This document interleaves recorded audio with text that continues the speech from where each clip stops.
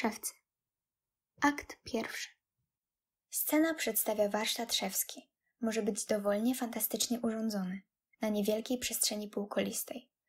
Na lewo trójkąt zapełniony kotarą wiśniowego koloru. W środku trójkąt, ściany szarej z okrągławym okienkiem. Na prawo pień wyschłego, pokręconego drzewa.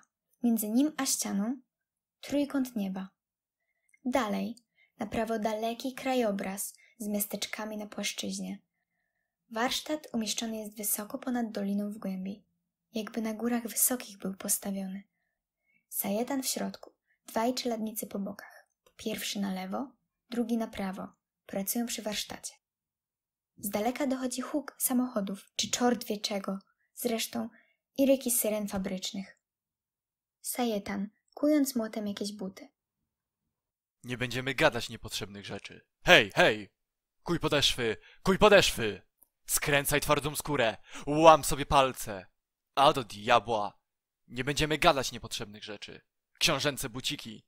Tylko ja, wieczny tułacz, tym się tułający, że do miejsca zawsze przykuty. Hej! Kuj podeszwy dla tych ścierw! Nie będziemy gadać niepotrzebnych rzeczy. Nie! Czy wy byście mieli odwagę? Zabić ją? Drugi czeladnik przestaje kuć podeszwy i pilnie nasłuchuje. Dawniej tak, teraz nie. Hej! Wywija młotem. Nie mówcie tak ciągle hej, bo mnie to drażni. Mnie gorzej drażni, że buty dla nich robię. Ja, który mógłbym być prezydentem, królem tłumu. Choć chwilę, choć jedną małą chwilkę. Lampiony, girlandy i słowa wokół lampionów, głów, a ja nędzny, brudny wszarz ze słońcem w piersi, błyszczącym jak tarcza złota Heliodora, jak sto aldebaranów i wek. Ja nie umiałem mówić. Hej, Wywija młotem. Czemu nie umiecie? nie dali. Hej, bali się. Jeszcze raz powiecie hej, a pójdę sobie od roboty precz. Nie macie pojęcia, jak mnie to drażni. A propos, a kto to Heliodor? Jakaś fikcyjna będzie postać. A może mój wymysł? I już nie wiem nic. I tak bez końca. Jedna chwila. Nie wierzę już w żadną rewolucję. Samo słowo wstrętne jest jak karaluch, albo i prusak czy wesz. Bo wszystko obraca się przeciw nam. Nawóz jesteśmy, jako ci dawni królowie i inteligencja w stosunku do totemowego klanu. Nawóz! Dobrze, żeście nie rzekli hej, a to ubiłbym was. Nawóz bo nawóz, ale oni dobrze żyli. Ich nie dziwki nie śmierdziały tak jak nasze. Sturba ich suka malowana, dziamdzia ich szać zaprzała. O Jezu! Już wszystko tak zbrzydło na tym świecie, że więcej o niczym gadać nie warto. Kona ona ludzkość pod gniotem cielska gnijącego, złośliwego nowotwora kapitału, na którym nikiej putrefakcyjne owe bąble faszystowskie rządy powstają i pękają, puszczając smrodliwe gazy zagnitej w sobie w sosie własnym, bezosobowej ciżby ludzkiej. Już nic gadać nie trzeba. Wszystko je wygadane do cna. Czekać trzeba, aż się zrobi i robić, ile kto może. Czy nie jesteśmy ludzie? Może ludzie to tylko oni, a my tylko bydlęcy ścierwa z takimi, wiecie, panie święty, epifenomenami. By się jeszcze gorzej męczyć i na ich uciechę skowytać. Hej! Hej! Wali młotem w co popadło. A oni myślą tak na pewno, brzuchacze zacegarzone, ociekające takim śliskim koktajlem z ichniej rozkoszy i naszej smrodliwej, beznadziejnej w swej męce. Hej! Hej! Takeście to mądrze rzekli, że nawet to wstrętne hej mnie nie raziło. Przebaczyłem wam, ale więcej tego nie róbcie. Niech was ręka boska broni. A to jest najgorsze, że praca nigdy nie ustanie, bo się nie cofnie ta psia mać machina społeczna. Ta będzie tylko pociecha, że wszyscy jako jeden wstrętny mąż z zapamiętaniem nieprzytomnym orać będą, że nie będzie nawet takich próżniaków. Ich na naczelnych stanowiskach kontrolnych. Toś ty to sobie też myślał, brachu. Hej, ale jak tu porównać dwa mózgi? Nie porównać. Choć i to trudno, ale zrównać. Otóż pracować będą tak samo. Chodzi o tę nieprzyjemność. Teraz jeszcze za dużo frajdy mają te dranie, bo jest twórczość. Hej!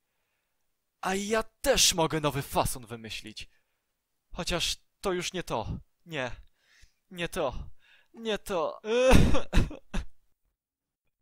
Bidny majster. Chcę u siebie robota była równocześnie mechaniczna i żeby duchem tę mechanikę wyosobliwiać.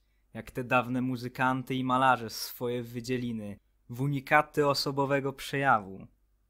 Czy ja mówię bez sensu? Nie, tylko obco. Ja to bardziej swojsko wypowiem. A może nie warto? Pauza. Nikt go nie zachęca. Mówi jednak. Przykra pauza. Nikt mnie nie zachęca? Gadać jednak będę, bo mi się tak chce, że wytrzymać niezdolen jestem, wicie? Przyjdzie dziś pewno tu księżna ze swoim prokuratorskim psem i gadać będzie też i wiercić nam otworki w metafizycznych pępkach.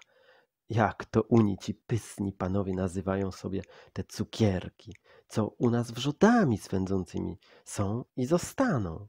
To się wyraża w sprzecznościach, których nijak osiągnąć nie można. To są te rzeczy, ta sakra ich suka szlachcickie odpadki, co oni nazywają swymi metafizycznymi przeżyciami. Łechcą sobie nimi spasione brzuchy, a każdy taki łecht nasyconego bydlaka to nasz ból w kiszkach. Chciałem mówić, widzie, i, i powiem, żyć i umrzeć, zacisnąć się w główkę od szpilki i rozprzestrzenić się na cały świat, puszyć się i tarzać w prochu. Nagła pustka we łbie nie pozwala mu mówić dalej. Nic więcej nie powiem, bo mi się nagle pusto we łbie zrobiło jak w stodole, jak w gumnie. Tak. Nie bardzoście się wysieli na ten speech przez SP i Cze. Ja, wicie, Jędrek, znam Kretschmera. Z wykładów tej tam intelektualnej Lafiryndy Zachorskiej w naszej wolnej wszechnicy robotniczej. Oj, wolna ona wolna. Raczej rozwolniona jest ta nasza wszechnica. Sami się częstują twardą wiedzą, a na nas to tę biegunkę umysłową puszczają, aby nas jeszcze gorzej zatumanić, niż to chciały wszelkie religianty na uszokach feudałów i ciężkiego się przemysłu wygłupiające. A wam mówię, Jędrek, że to schizoidalna psychologia. Nie wszyscy są tacy. To rasa ginąca. Coraz więcej jest na tym świecie pikników. Masę radio, masę stylo, masę kino, masę daktylo, masę brzucho i nieśmierdzące, niecieknące ucho.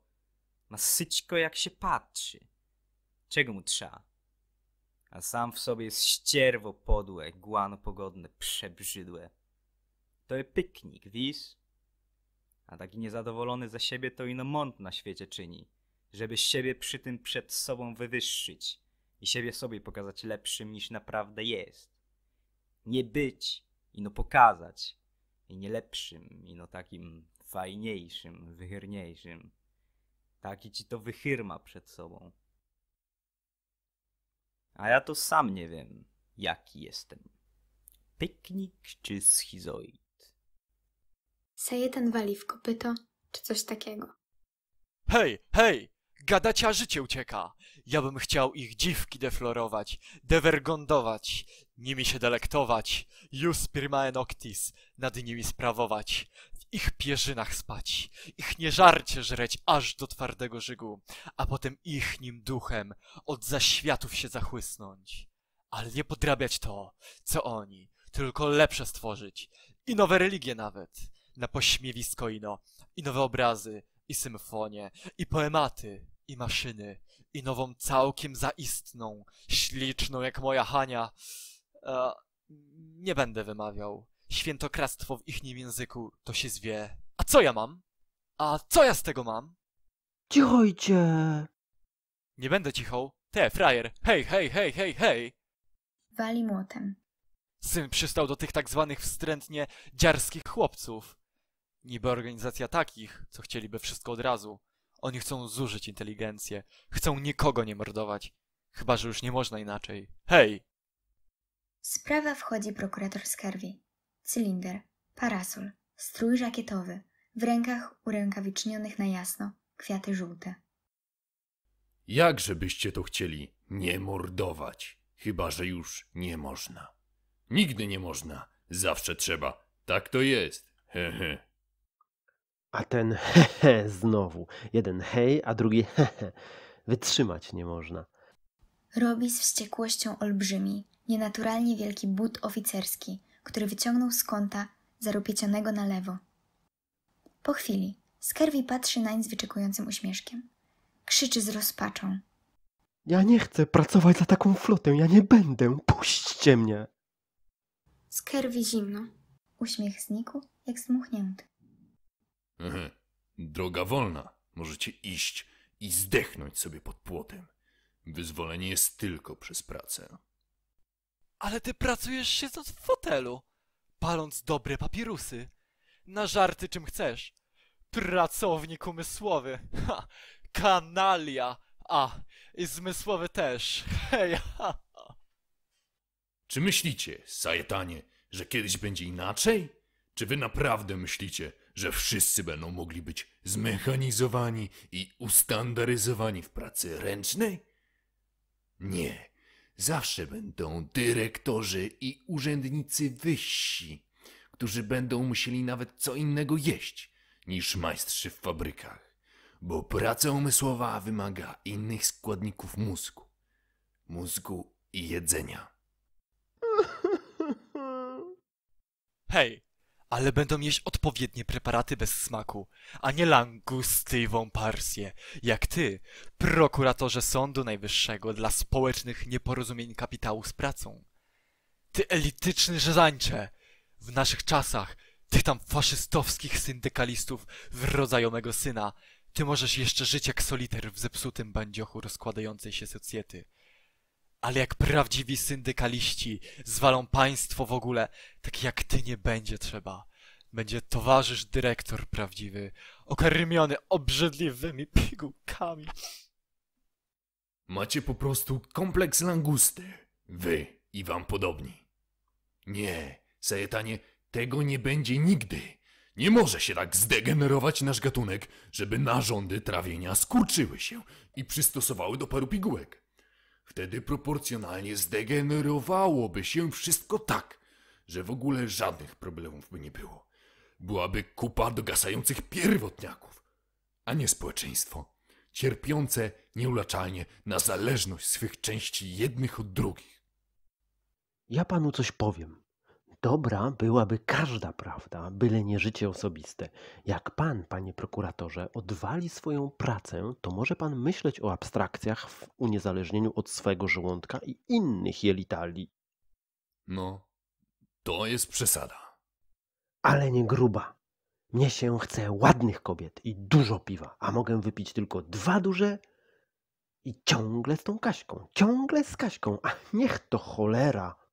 Dość. Pierwszy czeladnik podchodząc do niego z zaciśniętymi pięściami. Dość!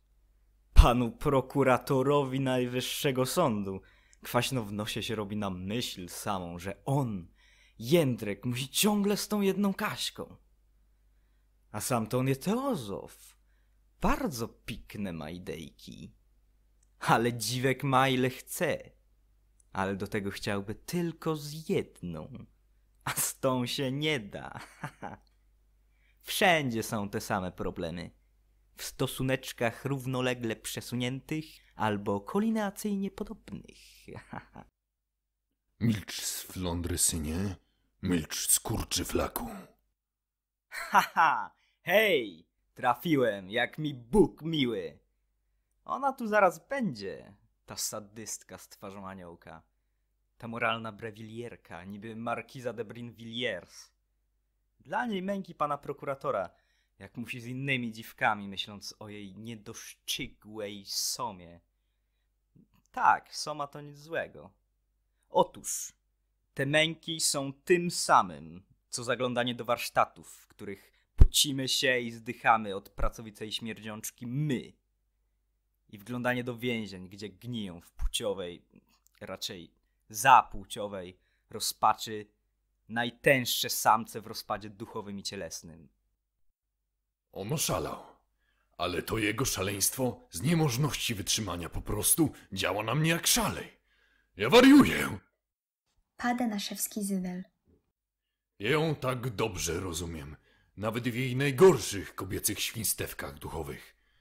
I tak by było dobrze. Cóż, kiedy ona woli, aby nic. Och, och. Moja męka nasyca ją więcej, niżliby nasycić zdołał najszaleńszy mój hipergwałt jakiś. O, widzicie? Rozłożył się na elementy proste. Nawet nie śmierdzi już. Porób pan buty. To panu dobrze zrobi. Lepiej niż widok skazańców o świcie. I to wiecie nawet, Sajetanie? Sajetanie! Jakież to straszne.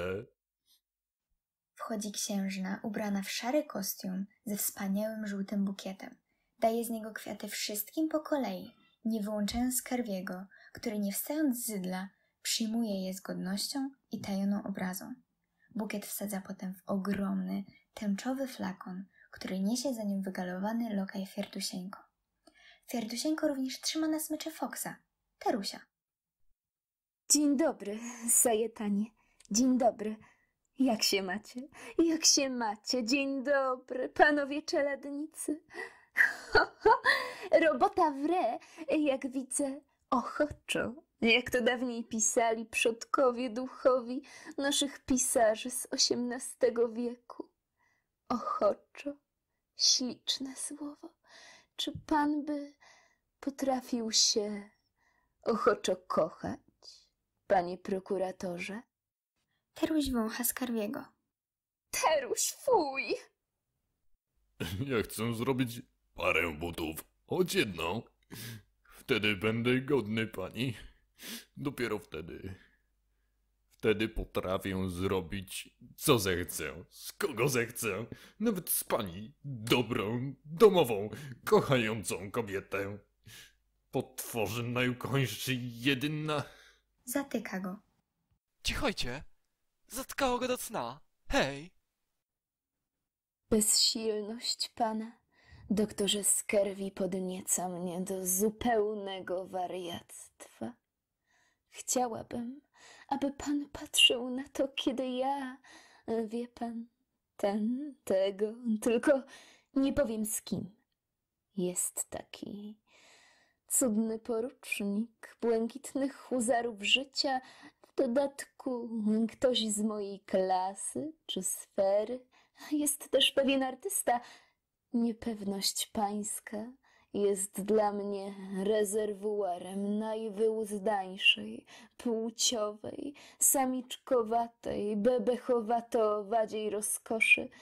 Chciałabym, jak samice modliszki, które ku końcowi zjadają od głowy swoich partnerów, którzy mimo to nie przestają tego. Wie pan. Drugi czeladnik wymawia okropnie słowa francuskie, jak pani Monsiorkowa. Trzyma olbrzymi but oficerski. Quelle expression grotesque! Czuć podniecenie niesamowite u szewców. Daj mu ten oficjerski, kirasjerski, psia jego flądra but. Niech go skończy za ciebie. Jemu takie buty są potrzebne. Jemu i tym panom, dla których on wsadza bohaterów przyszłej ludzkości do pałaców swoich. Pałaców jego ducha. Hołotę trzymać za mordę. O tych najszczytniejsze hasło. Hej, hej, hej! A on, wicie, jeszcze jedno, wicie, ma cierpienie, towarzyszu mistrzu. On się kocha w naszym tym perwersyjnym aniołku tylko temu, co ona jest księżna, a on jest zwykły burżuj z trzeciego stanu, a nie hrabia. Tak ich to hrabiowie bezkarnie po pyskach prali jeszcze 200 lat wstecz. To on cierpi i sam się pławi w swoim cierpieniu jeszcze bardziej. Bez tego to go kociego syna nie cieszy, jak pisał sam Boy. Skarwi, zrywając się. Jednocześnie drugi czeladnik wciska mu w objęcia olbrzymi but oficerski. Skarwi przyciska go do piersi i ryczy z emfazą. To jedno nie! Tego jednego mi nie zabierajcie! Jestem prawdziwym, liberalnym w ekonomicznym tego znaczeniu demokratą! Trafiłeś go! Tak, on żałuje, że nie liznął tego najparszywszego istnienia, jakie być może istnienia w złudzie fikcyjnej wartości hrabskiego bytu w ostatniej połowie XX wieku. On by nie wiem co dał, aby móc być cierpiącym hrabią i ubrdać się na to całe nasze istnienie taką, wicie, subtelnością wyższości, co to psia jego suka A nie wiem już co.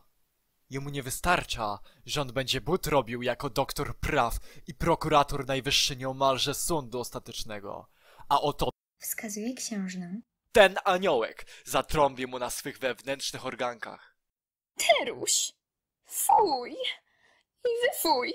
Sajetanie! Toż to tak nie można. Nie lza. Jak mówili słowianofilscy, dowcipni się słów nijakich. To niesmaczne i koniec. Zawsze mieliście tyle taktu, a dziś Będę niesmaczny, będę. Dość smaku. W wątrobie wszystko na smród i brud ostateczny. Niech śmierdzi wszystko. Niech się na śmierć ten świat zaśmierdzi. I niech się het do cna wyśmierdzi. To może potem zapachnie wreszcie. Bo w nim takim, jakim jest, wytrzymać wprost nie można. Nie czują biedni ludziska, że demokratyczne kłamstwo śmierdzi. A smród klozetu to czują psie pary. Hej! Otóż to je prawda, on by dał wszystko, aby choć jeden moment hrabią prawdziwym być. Ale nie może, biedota nieszczęsna. Hej! Litości, przyznaję się. Dziś rano wieszali przy mnie, przeze mnie, skazanego hrabiego Kososińskiego. Janusza, nie Edwarda, mordercę ulicznicy Rywki Szczygiełes, defraudanta państwowego w PZP, biuro numer 18. Przyznaję się, ja zazdrościłem tego, że go wieszają. Jego, prawdziwego arystokratę. Oczywiście, gdyby przyszło co do czego, powiesić bym się za dziewięć pałek nie dał, ale wtedy zazdrościłem. On mówił, ten hrabia, aż żygał równocześnie ze strachu, jak mops glizdowaty.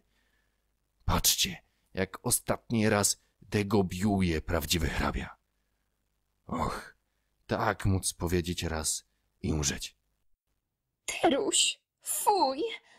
Ja się rozpływam wprost z nieludzkiej rozkoszy.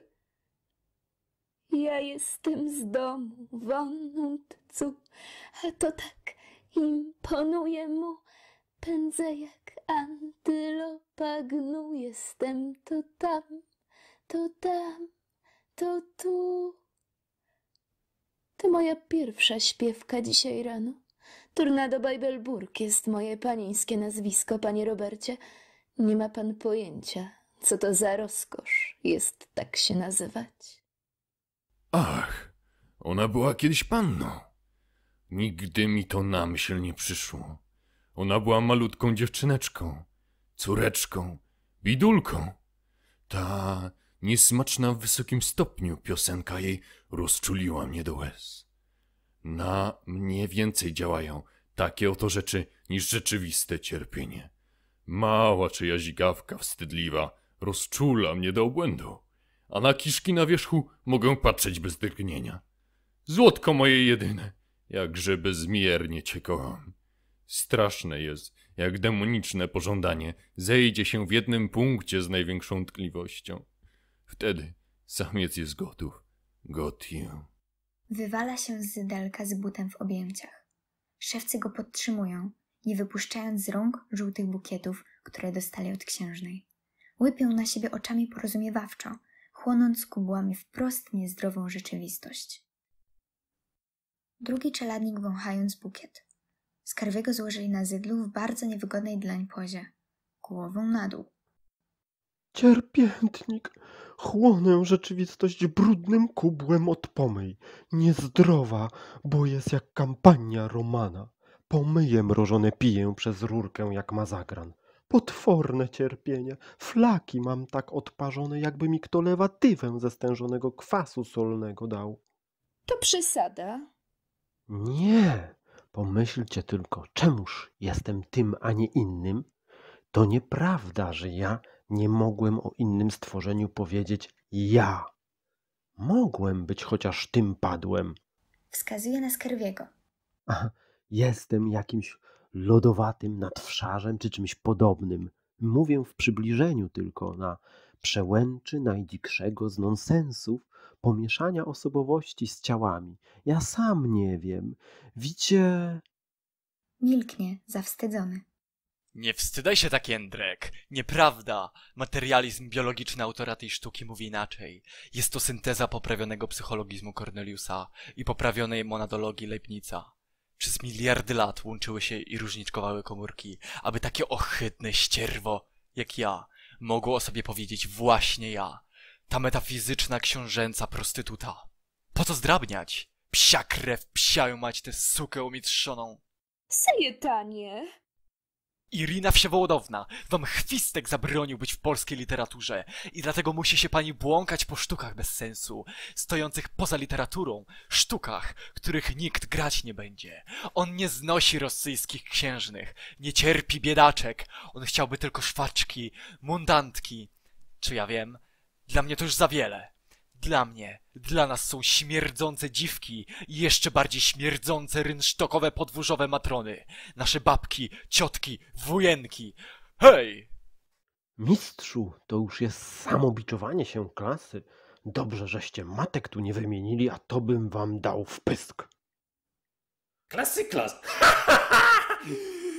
Logistyka w walce klas. Walka klasy klas samej ze sobą. Sam pogardzam sobą za ten nędzny widz. A na lepszym nie stać. To po co w ogóle robić wice? Zły przykład naszych dowcipnisiów w literaturze. Dowcip im dawno zjełczał, a widce robią kanalie. Wciąż. Ha, dosyć. Kimś trzeba być w tej matni. Trzeba stanąć albo tu, albo tam. Ze strachu przed odpowiedzialnością. Mego strachu. Gotów mi się wymknąć najprzedniejszy kąsek przeznaczonego mi życia. Jako hrabia mógłbym być obserwatorem tylko. To tylko w Polsce jest tak ostro postawiony problem hrabiego jako taki. Od tej chwili nie wolno o tym gadać. Szluz, chłopaki, cudne moje. Całuje się z czeladnikami. Jak można tak mówić? Chłopaki cudne. Ach, Otrząsa się ze wstrętu i martwieje. taż to, panie, szczyt niesmaczności i mowy żanru. Otrząsam się ze wstrętu i martwieję. Drugi czeladnik obcierając się. To ja za te buciki księżnej pani nie chcę już floty. Tylko takich całusów dziesięć ognistych, jak te Cikosa i pani de Corponei z tej powieści Jokaja, co to czytałem w dzieciństwie. Księżna, kierując ku niemu mały, srebrny browning. Wiem, biała dama. Dostaniesz dziesięć kul jak ten cikos. Tu jako te piszą nieuświadomione literatniki? Te rozbabrywacze pojęciowego porządku, te nieczyste monisty z sakra ich pluga. Życie sztuką, a sztuka życiem. Toż to mamy to, wicie, tu, na naszej małej szewskiej scence. To syćko, co te bałaganiaste łby się wymądrzają. Skarwi, nagle opanowany, podnosi się. Hehe. Patrzcie, znowu se hehe chuje. Wynalazł pewnikiem coś nowego, czym się znowu nad nami wywyższy. To huśtawka, nie człowiek. On też nie jest taki bardzo syty. Mówię wam, męczy się on wprost piekielnie. Biedaczek, jako mówił, niedawno na Wawelu, a nie na skałce, jako chcieli inni. Pochowany Karol Szymanowski. Skałka je dla lokalnych sław, a nie dla prawdziwych geniuszy. Skarwi, rwąc kwiaty. Ja chcę i będę. Zostanę na ich czele i wam pokażę zamek mojej duszy. Największego człowieka swojej sfery. Biednej, demokratycznej, niedojechanej do końca burżuazji. Ja muszę. Ja pokonam problem żołądkowy i postawię wasze zagadnienia na wyższej platformie ducha. Będziecie mnie jeszcze po rękach całować. Wy moi bracia w nędzy duchowej. Nikt ci nie prosi, ty Robercie Fraternité jeden. My już nie potrzebujemy inteligentów. Minął wasz czas. Z wibrionów powstaliśmy, w wibriony się obrócimy. Kocham zwierzęta, czuję się naprawdę kuzynem jurajskich gadów i trylobitów sylurskich, a także świń i lemurów. Czuję związek z wszechstworzeniem. Rzadko to bywa, ale jest prawdą. Hej! Hej! Pada w ekstazę. Jakże kocham was za to, sajetanie. Takim was kocham. śmierdzącego wszarza, ze słońcem wszechmiłości gadziej w sercu starego szewca naszej planety. Ja chyba będę waszą kiedyś, dla samej formy, dla fasonu, dla szyku, żeby tylko było to raz. Różnorodność przeżyć nigdy nie zaszkodzi, jeśli człowiek się przy tym nie bardzo zasmrodzi. A gdy i to nawet i tak nic nie szkodzi, bo właściwie mówiąc, kogo to obchodzi? Hej! Księżna, sypiąc na niego kwiaty. Mnie obchodzi. Mnie. Ale nie deklamujcie już więcej, boście tacy wtedy niesmaczni, że aż strach. Muszę się was wstydzić. Ja to co innego. Mogę sobie na to pozwolić, bo mówicie, popularnie mówiąc, księżna to trudno. Hej, hej, witaj, pospolitości odpocznę w tobie za wszystkie męki moje, moje i moich przodków, i ich zatków. Nawet ten biedny skerwi nie wydaje mi się dziś tak mały.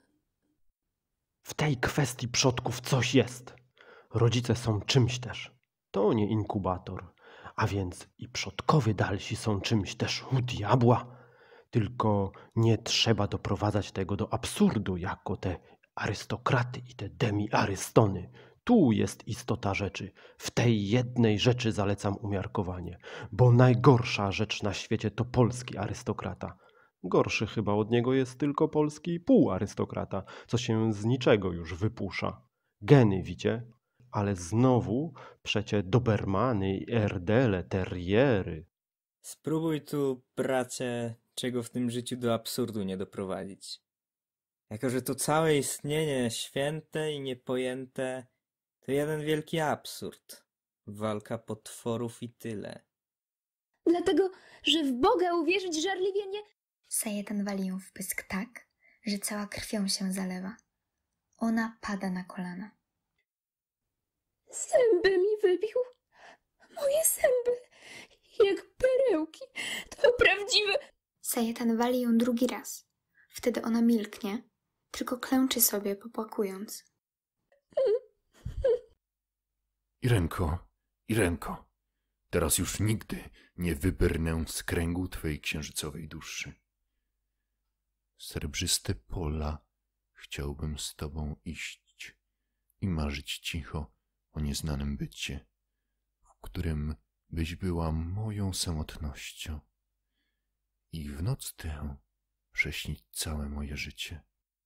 A nad ranem patrzeć, jak ze strachu wymiotują skazane przez ciebie na śmierć żywe trupy.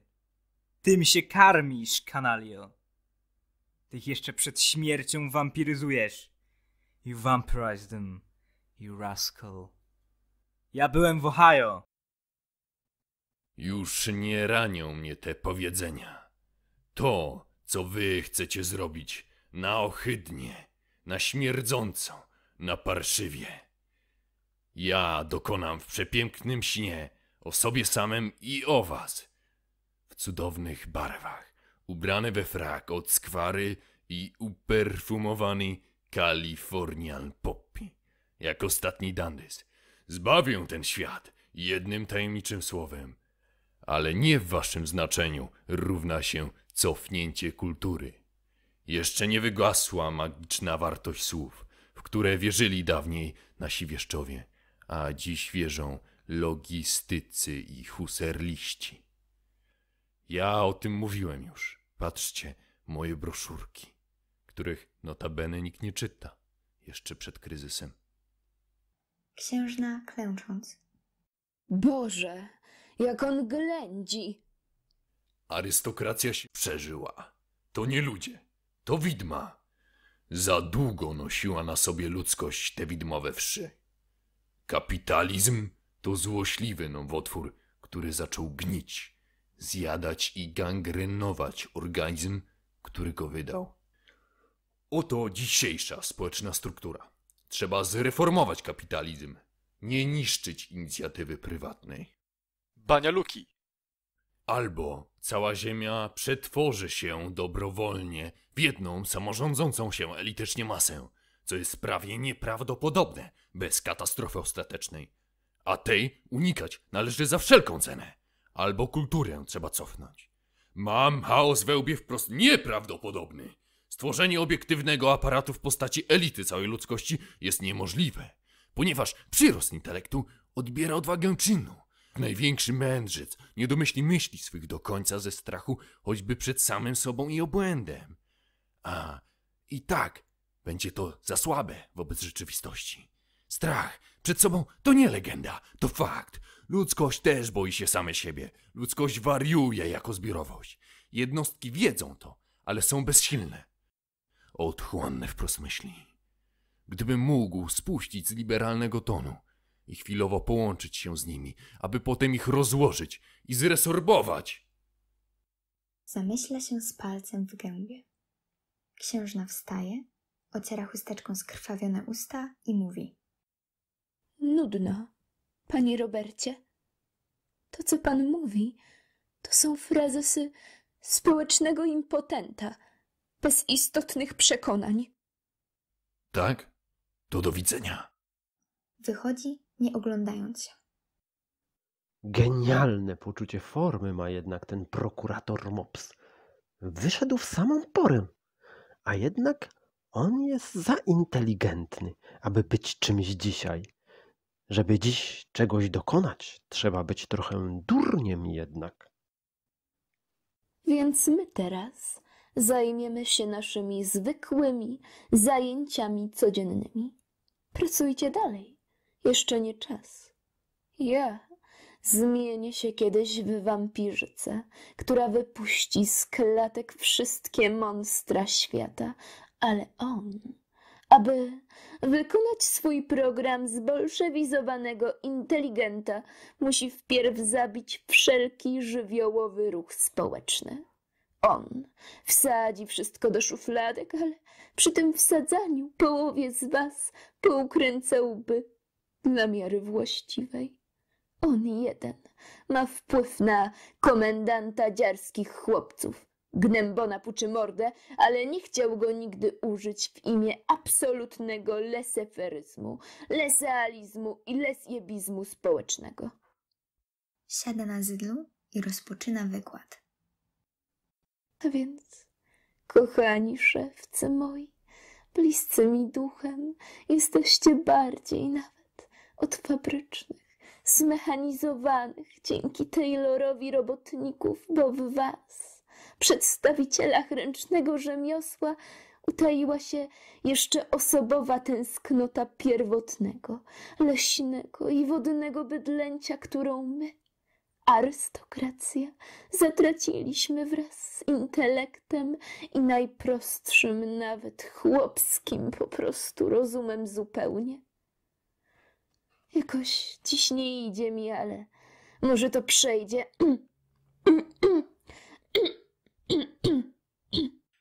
Chrząka długo i bardzo znacząco. Hej, hej! I no tym chrząkaniem długim a znaczącym nie nadrabiajcie pani, bo to nic nie pomoże. Hej! Ha, ha, ha. mm, mm. I no, tak dalej. Dobrze będzie. Hu, hu. Te kwiaty, które tu dziś wam przyniosłam, to są żonkile. Widzicie? Ha, mają słupki i pręciki, w ten sposób się zapładniają, że owad, gdy wchodzi... Też ja się tego, panie święty, jeszcze w normalnej szkółce uczył. Ale takie mnie ciągotki biorą, gdy księżna pani... Hej, hej, hej! Oderwać się od tego nie mogę. Taka płciowa ponura nuda i płciowa beznadziejność wprost straszna. Jak w dożywotnim więzieniu. Gdybym teraz czego, uchowaj Boże, doznał, to byłoby chyba tak dobrze, żebym do końca życia z żalu za tym skowytał. Jak to księżna pani umie te najokropniejsze fibry wyrafinowanej płciowości nawet w prostym człowieku poruszyć i rozbabrać. Ha, mnie to aż mgli do takiej przyjemnej, ohydnej męki. Okrucieństwo jest istotą, Hej, cichajcie! Niech idzie dziwna chwila zaśmierdziałego żywota, niech się święci mija, niech morderczą, tragiczną chucią nas w szarzy biednych zabija. Chciałbym żyć krótko jak efemeryda, ale tęgo, a tu wlecze się ta gówniarska kiełbasa bez końca, aż za szary, nudny, jałowcowo-nieśmiertelnikowy horyzont beznadziejnego jałowego dnia, gdzie czeka wszawa zatęchła śmierć, w ciurności domoglinego kubła, czy jak tam, a wszystko jedno. Księżna zakrywa oczy w zachwycie. Spełnia się sen. Znalazłam media dla mego drugiego wcielenia na tej ziemi. Chciałabym uwznioślić waszą nienawiść, zamienić zawiść, zazdrość, wściekłość i nienasycenie życiem na dziką, twórczą energię dla hiperkonstrukcji. Tak się to nazywa.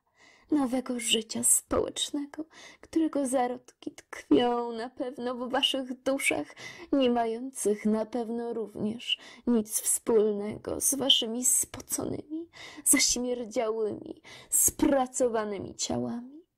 Chciałabym mękę waszej pracy pić przez rurkę, jak komar, krew hipopotama, o ile to możliwe w ogóle, i przemieniać na moje idejki, takie piękne, takie motylki, które kiedyś wołami się staną. Nie instytucje tworzą człowieka, ale człowiek instytucje. Tylko bez blagi, jasna pani. Instytucje są wyrazem najwyższych dążeń. Z nich się wykonstruowują, a jak tej funkcji nie spełniają, to wąt z nimi. Rozumiesz, jasna Landrygo? Cichoj, niech się całkiem wygada. Tak, pozwólcie mi raz otworzyć na oścież, czy na ścieżaj nawet moją zatęchłą, umęczoną duszę. Więc na czym to stanęliśmy? A, żeby waszą nienawiść i złość zamienić na twórczy wybuch. Hm. Jak to robić sama nie wiem, ale to podyktuje mi moja intuicja. Ta kobieca, która płynie z wnętrzności. A, i nawet z pewnych zewnętrzności. A, Ale jak ułagodzić waszą złość? Przecież wiadomo, że ludzie czasem kładzą jeden drugiego, aby doprowadzić go, tego drugiego, do jeszcze większej pasji. Jesteście teraz wściekli na mnie, Sajetanie, a jednocześnie musicie mnie podziwiać jako coś bezwzględnie wyższego od was. Ja wiem, to męka. Gdybym was teraz pogładziła po ręku, o tak, Gładzi go. to byście się jeszcze bardziej wściekli. Wyleźlibyście wprost ze skóry. Sajetan usuwa, wyrywa raczej rękę jak oparzony. o ścierwa! Widzieliście ta? To ci klasa świadomej perwersji. Chciałbym klasowo być tak uświadomionym, jak ta cholera. Perwersyjnie, po kobiecemu. Sakra i suka jest. Lubię was tę wyższą świadomość waszej nędzy i tego łaskotliwego bólu, który was rozlizuje na wszawą miazgę. Pomyślcie, gdybym tak skrwiego, który mnie pożąda do szaleństwa, już jest jak przepełniona szklanka, którą lada potrącenie rozbić może. Pomyślcie, Sajetanie, jakby on się wściekł i oszalał, gdybym go tak pieszczotliwie, z litością pogładziła i gdyby on mógł być jednocześnie wami trzema. Groźny ruch trzech szewców ku niej. Wara od niej, chłopcy. Samsemeister, waruj. Raz, a dobrze. Potem piętnaście latek więzienka. Z krwi by was nie oszczędził, nie. A kysz, Teruś, fuj! Niech Fierdusieńko da mi sole angielskie natychmiast. Fierdusieńko podaje solę w zielonym flakoniku. Ona wącha i daje do wąchania szewcom, którzy uspokajają się. Niestety na krótko.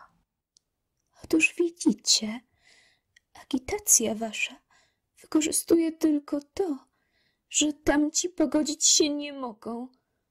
Jeśli Skerwi, najwyższy dostojnik sprawiedliwości, która ma niezdrową manię niezależności, zdoła się dostatecznie podlizać organizacji dziarskich chłopców, I to mój syn tam je!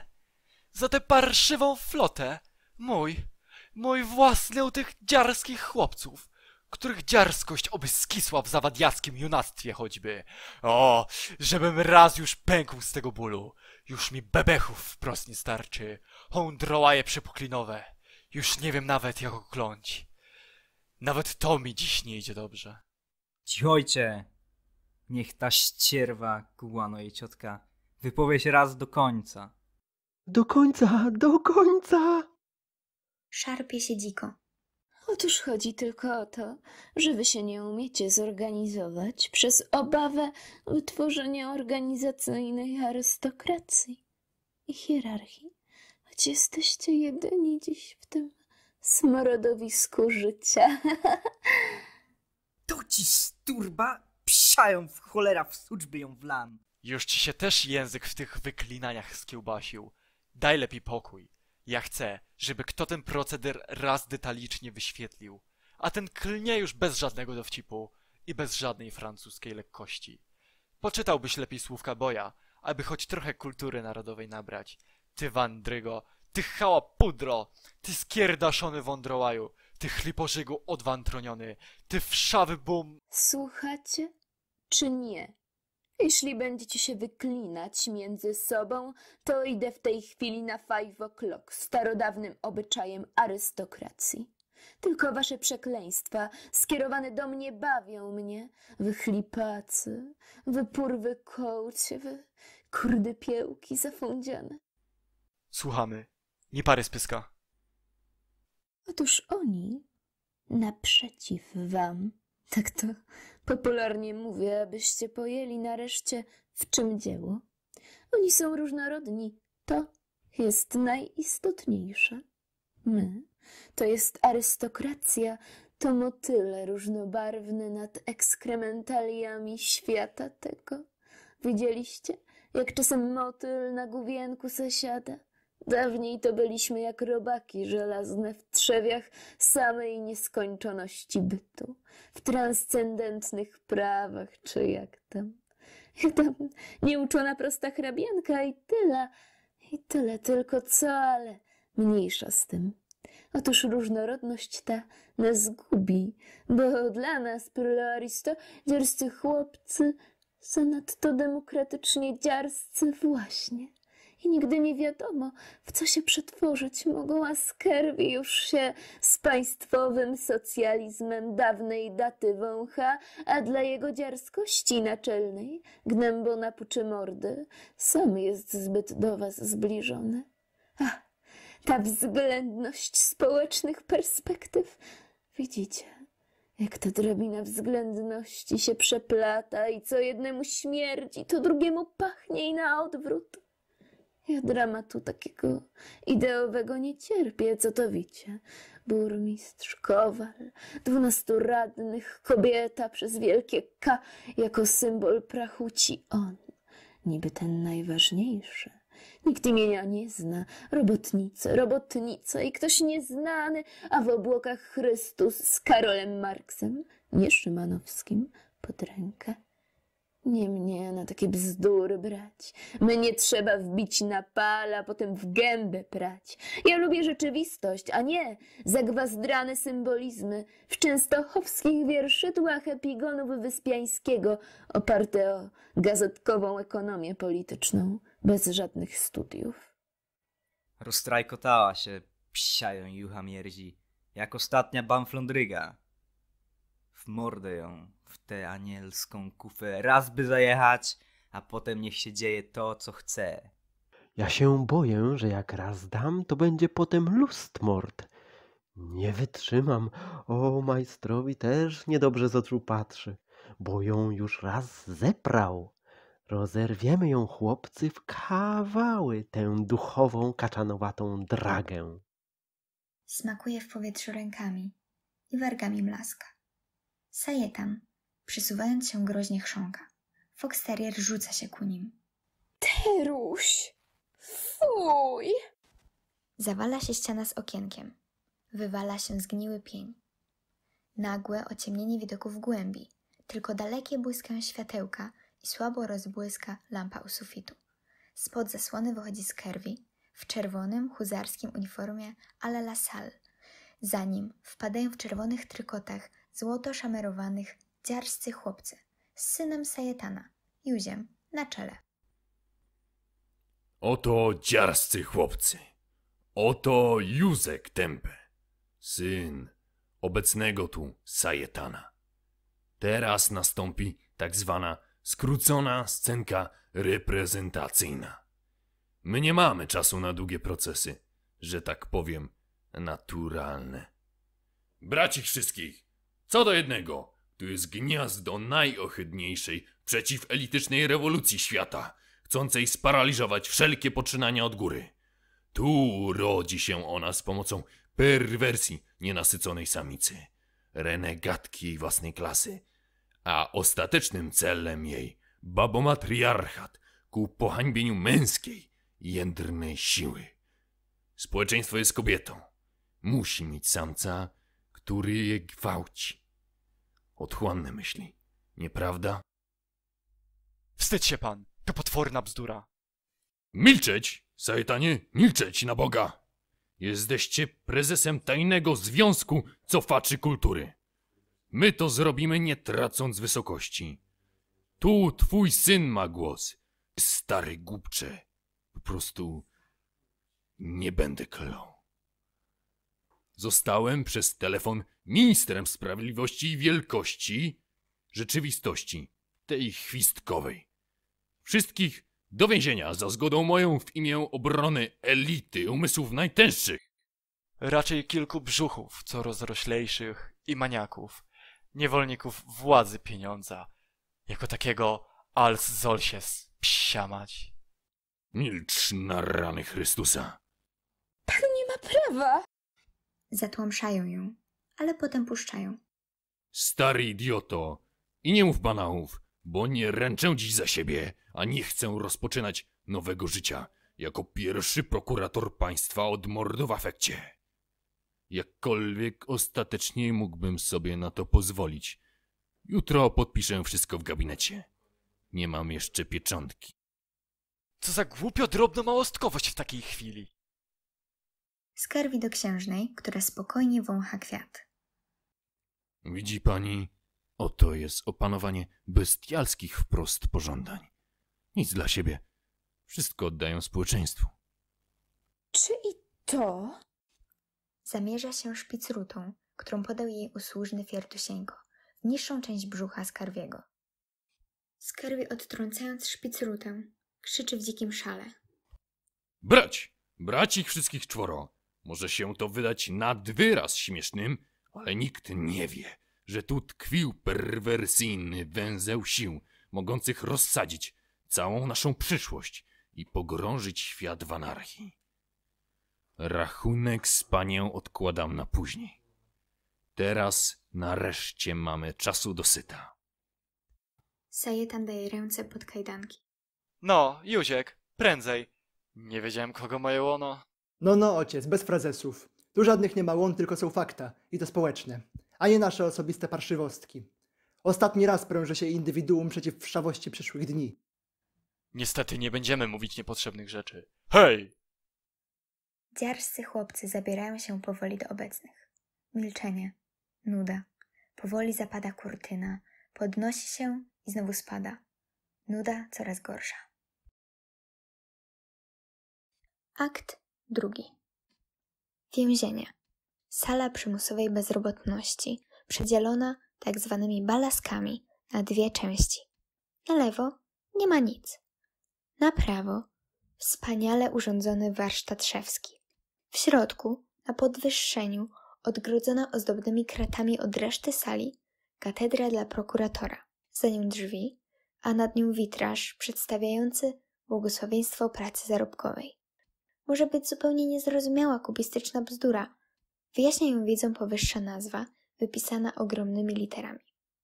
W lewej części sali błądzą szewcy z pierwszego aktu, jak głodne hieny. Czasem kładą się lub siadają na ziemi. W ruchach ich widać pierwotne umęczenie nudą i brakiem pracy. Często drapią się i drapią jedni drugich w plecy. Na lewo stoi u drzwi strażnik. Zupełnie normalny, młody, byczy chłop w zielonym mundurze. Co chwila rzuca się na któregoś z szewców i mimo oporu wywleka go przez drzwi, po czym zaraz prawie władowuje go na powrót. Strażnik, wskazując w głąb sceny ręką. Jest to sala programowego bezrobocia w celu udręczenia osobników żądnych pracy. Witraż ten Wskazuje w głąb. przedstawia właśnie na złość błogosławieństwo pracy zarobkowej. Więcej nic do powiedzenia nie mam i do mówienia nikt mnie zmusić nie zdoła. Prostytutki miłosierdzia zostały u nas surowo zakazane. Ludzkość się rozwydrzyła. Jeśli tak nie damy rady, wrócimy oficjalnie do tortur. Sajetan łapie się za głowę. Praca, praca, praca. Byle jaka, niech se będzie. Ale niech będzie. O Boże, to jest... Ach, już nic nie wiem. Boli mnie tak na wątpiach od tego przymusowego lenistwa, jakbym ogniem rządzy pracy cały był wypełniony. Może ja to źle powiedziałem, ale co robić? Co robić? Najpiękniejszej dziwki mi się tak nie chciało, jako teraz tych zydlów i narzędzi. Ja się chyba wścieknę. To jest banalne, psia jucha. Co to więzieniem można z człowieka zrobić? Nikiej Wild albo Verlen się przemieniłem. I to bez niejakiego nawrócenia. Och. Och. Teraz ja. Pracy dajcie, bo zwariuję i co będzie wtedy? Co bądź, pantofle dla lalek, kopyta dla sztucznych zwierząt, urojone sandałki dla nigdy nie byłych kopciuszków. Och, robić! Co to było za szczęście! A nie docenialiśmy go, gdy było go po pas i w brud. O, na ten tryont Boży! Za wiele męki na nas, któreśmy i przedtem niewiele mieli. Kaśka, gdzieżeś ty? I nigdy już. Cicho ojcie, chłopcy. Mówi mi sama największa intuicja, że może być niedługie ich niepanowanie. Coś stać się musi, a kiedy... Na czeladnika pierwszego rzuca się strażnik i wywleka go na lewo mimo krzyków i protestów. Sajetan kończy jak gdyby nigdy nic. Nie mogę uwierzyć, żeby tak straszna siła, jak nasza, zgniła bezwładnie. A iluż tak wierzyło i zgniło? Życie jest straszne. Mówisz banały, kochanie. Banały i banały. Prawdy największe są też banalne. Już nic na pokaz dla samych siebie z wątpiów naszych nie wydostaniemy. Zanudzić się w nieróbstwie programowym na śmierć, będąc odżywianym na siłę czterdziestu byków, to ohydne. Wyście starzy, ale mnie się wyć chce i przyjdzie czas, że się na śmierć zawyję, a życie mogłoby być takie pikne, takie straśne fajne. Z Kaśką po całym dniu nieludzkiej pracy wyrżnęlibyśmy sobie po dużym piwie. Wchodzi na katedrę Skerwi, drzwiami górnymi na lewo, ubrany w czerwoną togę i taki żbiret. Matma wyrżnął małe piwko i dobrze się zrobiło mu. I będzie odtąd mu już dobrze, jeśli nie tam, to może tu. Wskazuje palcem na ziemię. Strażnik wrzuca pierwszego czeladnika. Skerwiemu przynosi śniadanie na katedrę bardzo młoda, ładna strażniczka w fartuszku na mundurku. Skerwi pije piwo z dużego kufla. Już jest nasza jedyna pociecha, nasz dręczyciel, nasz dobrozłoczyńca.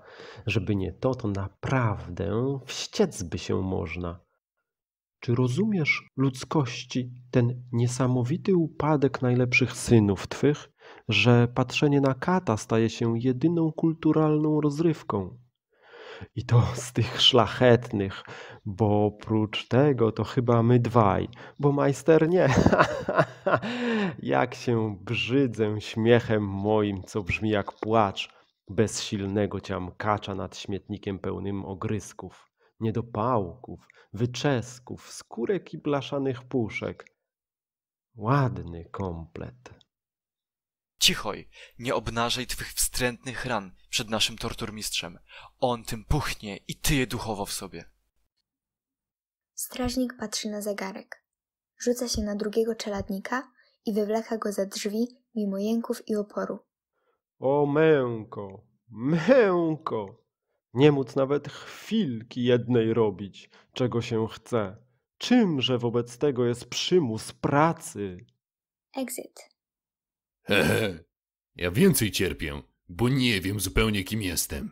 Od czasu jak mam władzę polityczną. Sprawiedliwość tylko w najbardziej mdłych, demokratycznych, drobnomieszczańskich republikach była naprawdę niezależna. Kiedy się nic społecznie ważnego nie działo, kiedy nie było żadnych aktualnych przemian, kiedy po prostu było stojące, cuchnące bagno. O, gdyby można urządzić otwartą polityczną czerezwyczajkę, nie mającą nic wspólnego z sądami. Tylko wielkie społeczne idee usprawiedliwiają takie instytucje i dualizm sprawiedliwości. W imię spasionych czy zepsutych żołądków paru maniaków koncentracji kapitału będzie to wprost świństwem. Nie wiem, czy jestem typem tchórza wytworzonym przez dyktaturę, czy prawdziwym wyznawcą faszyzmu w wydaniu dziarskich chłopców? Tężyzna sama w sobie. Kim jestem? Boże, co mi z siebie uczynił? Liberalizm to guano. To najgorsze z kłamstw. Boże, Boże, jestem cały z gumy, którą na coś niewiadomego naciągają. Kiedyż pęknę wreszcie? Tak żyć nie można, nie wolno, ale żyje się jednak. To straszne. On nam tu umyślnie demonstruje swoją mękę, aby pokazać nam, jak to się można ładnie męczyć istotnymi tak zwanymi problemami tam, na wolności, gdzie pracy w brud, gdzie dziwki są i słońce. Hej, hej, prokuratorze, zdaje mi się, że twą głową niedługo ktoś poorze. Może to będę ja.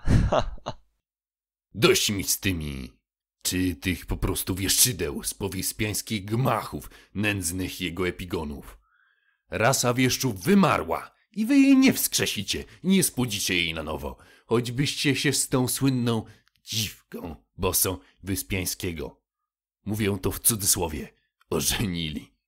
Nie mów o bosych dziwkach, na litosierdzie Boże, bo na samą myśl o tym zatyka mnie w tym więzieniu. I na dożywocie sobie tu osiedli, co wcale przy dzisiejszej procedurze niemożliwe nie jest. A wasza rewolucja może nadejść akurat tak? Na dobę dajmy na to po waszym sowicie zasłużonym zgonie od zgnicia na wilgotnej słomie. Sur la paille humide, jak mówią Francuzi. O, Francuzi, czyż bez sceny słów francuskich naszych blask? Tamci bledną najwyraźniej i rozdziawiają gęby i padają na kolana. A, bledniecie wyraźnie, kotki me, i gęby się wam tak śmiesznie jakoś rozdziawiają. I czują ból i rozkosz.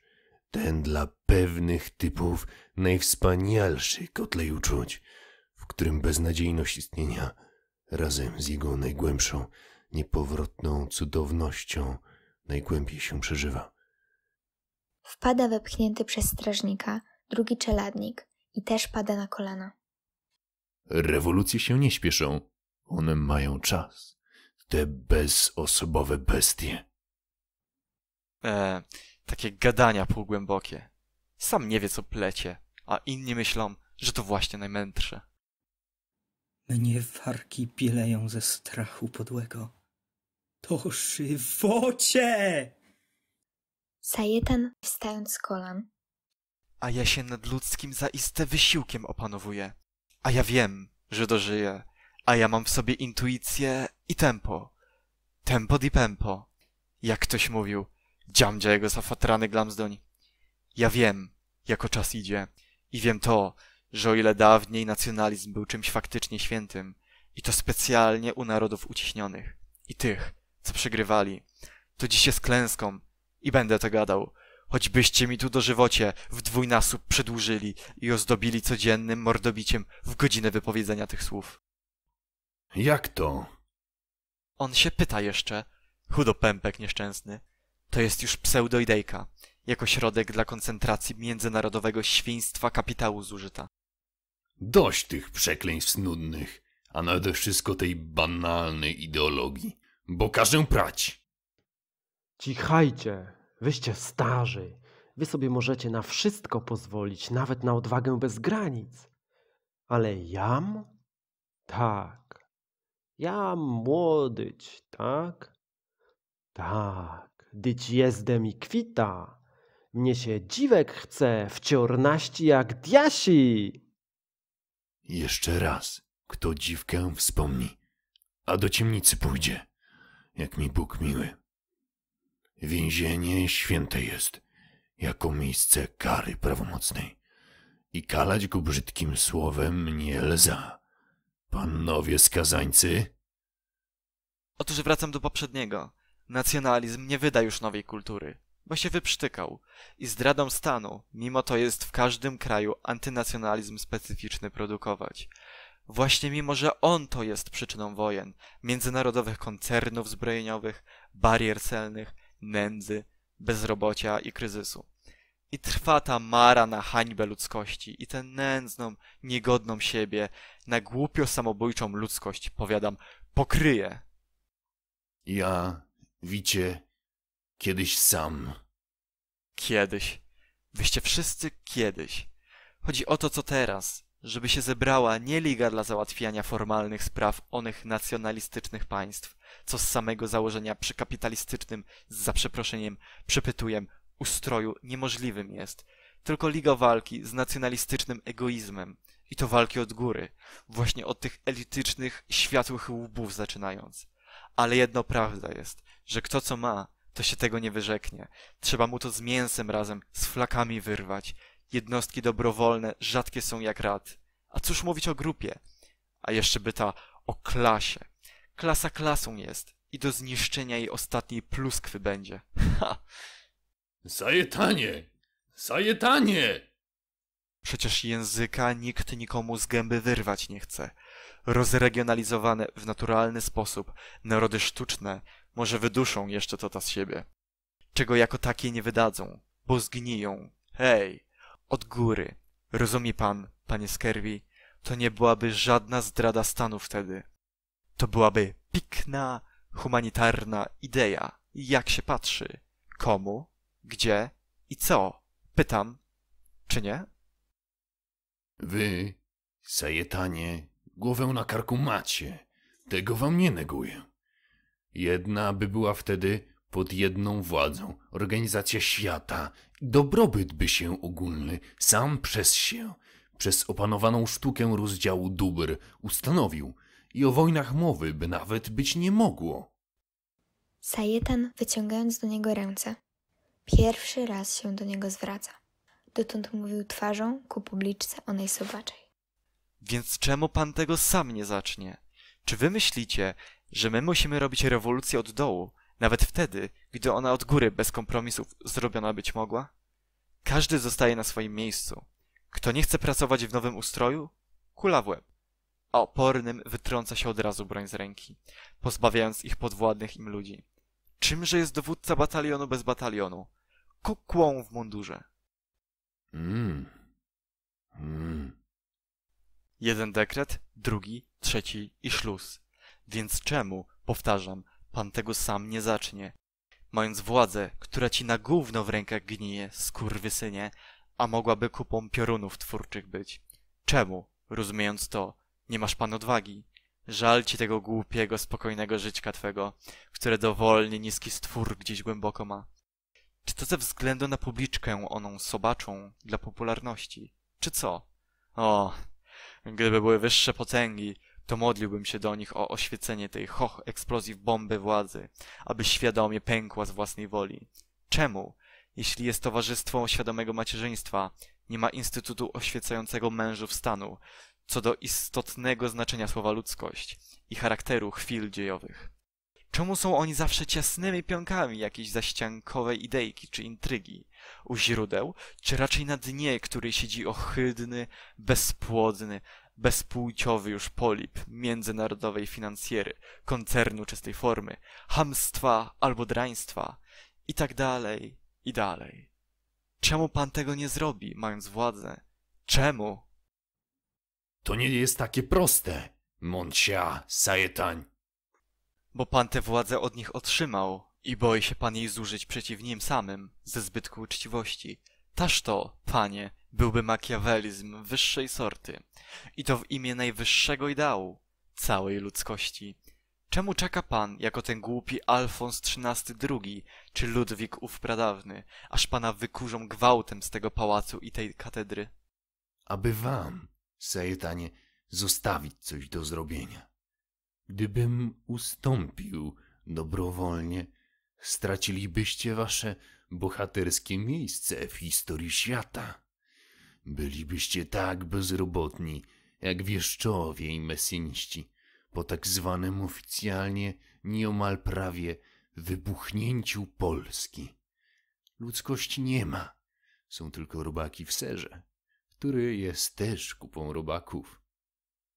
Głupie żarty, niegodne lewego półpaznokcia palca prawej nogi gnębona puczy mordy. Jako więźnia nieomal dożywotniego nie mogę już was, Sajetanie, ukarać dodatkowo. Przysługuje wam prawo bezkarnego obrażania mnie, ale chamstwem istotnym, nie w znaczeniu arystokratycznym, jest korzystanie z tego prawa. Bić nie każę. Ja tylko tak gadam dla postrachu. Jestem humanitarny. Dopraszam się łaski, panie Skerwi, i już nie będę nigdy. Niech tam, niech tam, mówcie se dalej. Mówię tak, abyście nie czuli dystansu. Do dzieci i ludzi prostych nigdy nie należy się, jak to mówią, zniżać. Oni się na tym od razu poznają i to ich obraża tylko. Dobrze, dobrze. Mówcie no. Otóż, panie Skerwi, ta chwila jest jedyna, jak to mówią sobie kochankowie w erotycznych powieściach. Na szczęście wymarło już to plemię. Nigdy jeszcze twarzą w twarz nie mówili do siebie przedstawiciele dwóch zasadniczych potęg, reprezentujących dwa nurtujące w każdym gatunku prądy. Indywiduum i gatunku. To jest rzecz piekielnie zawikłana, bo indywiduum musi wystąpić za gatunek, a czasem za jego kawałek. Kiedy czasy przyjdą, że ten kawałek ma właśnie misję reprezentowania całego gatunku, w imię którego musi być zrobiony umszturc. Zrozumiano? Co za metafizyka historyczna. Ależ, Sejtanie, tę misję, jak powiadacie, będzie miał ten kawałek gatunku, jak się wyrażacie, któremu materialnie jest źle. A władza pochodzi od totemu. Pamiętajcie, że bez władzy nie byłoby ludzkości w dzisiejszym znaczeniu, w której wy byście wasze wolnościowe szpręgle wyprawiać i siebie najistotniej jako indywiduum. To mówię z największym naciskiem. W nich przeżywać mogli. Tu jest punkt istotny. Tu hrabiowie mają trochę racji, psia ich mać. Aby zaś działać, trzeba być trochę głupim. Takim ciasnym, wicie. Prawdziwie mądry facet działać nie będzie. Zapatrz się we własny pępek i tyle. I tego wama, tych waszych dóbr duchowych, odbierać nie chcę. Ja widzę najtajniejsze podrzewki życia i ludzkich dusz. Parszywe, prokuratorskie, w ujemnym znaczeniu mówię, nie ciskaj się pan tak zaraz jak ryba. Znawstwo, w którym znawca wszystkich, a pokąt i siebie, za różnorodne tylko świnie uważa, nie znawstwem życia istotnym, a zresztą może jest w tym i racja, ale to jest jak z tą płytką zasadą, że nawet altruizm jest egoizmem. Tu dotykamy rzeczy zasadniczych, że istnienie bez istnienia indywidualnego i wielości ich jest nie do pomyślenia. Ale wróćmy do poprzedniego. Mimo, że dzisiejsza zidiociała publika żyga od trochę przydługich i co mądrzejszych rozmówek. Otóż niech pan naprawdę dobrze pomyśli. Niech pan wyjdzie pierwszy przed front i zniesie wszelkie bariery narodów. A zapanuje złoty wiek ludzkości. To jest banał, Co miała dać kultura narodowa, to dała. Po co mamy żyć przywaleni jej gnijącym ścierwem? Po co? Pytam się. Przecie pan w przyszłość ludzkości, w tej formie właśnie, nie wierzy? Sajetanie, sajetanie! Czyż na to trzeba było kory mózgowej u pewnych jaszczurów, wiórze i triasie, aby stworzyć coś tak promiennego i ohydnego zarazem jak rodzaj ludzki? Nie wymiguj się od odpowiedzi. Co cię wstrzymuje? Przecież jawnie kłamiesz. Widzę to czysto, powiadam intuicyjnie. Nie jesteś ciasnym fanatykiem nacjonalizmu zaborczego, że tak powiem już ultra delikatnie. Nie macie pojęcia, co za tragedia. On mi tu będzie swymi tragediataliami głowę zawracać. Moja to jest tragedia prawdziwa. Ja widzę prawdę ostateczną całej ludzkości i przez to, że ją widzę, właśnie moje osobiste życie upływa jak najczarniejszy, kloaczny nieomal koszmarek, gdy wypławicie się w dziwkach i majonezach. Ha, ha! Dziwka w majonezie. Czegoż też taki biedak nie wymyśli? Muszę spróbować. Odpowiadaj, sturba twoja suka, bo ci ośrodek sumienia sparaliżuje fluidem skupionej we mnie woli milionów. Natchniony starzec. Rzecz dziś niezmiernie rzadka. Hej, hej, prokuratorze, coś mi się widzi, że nie za długo pożałujecie tych tanich słówek.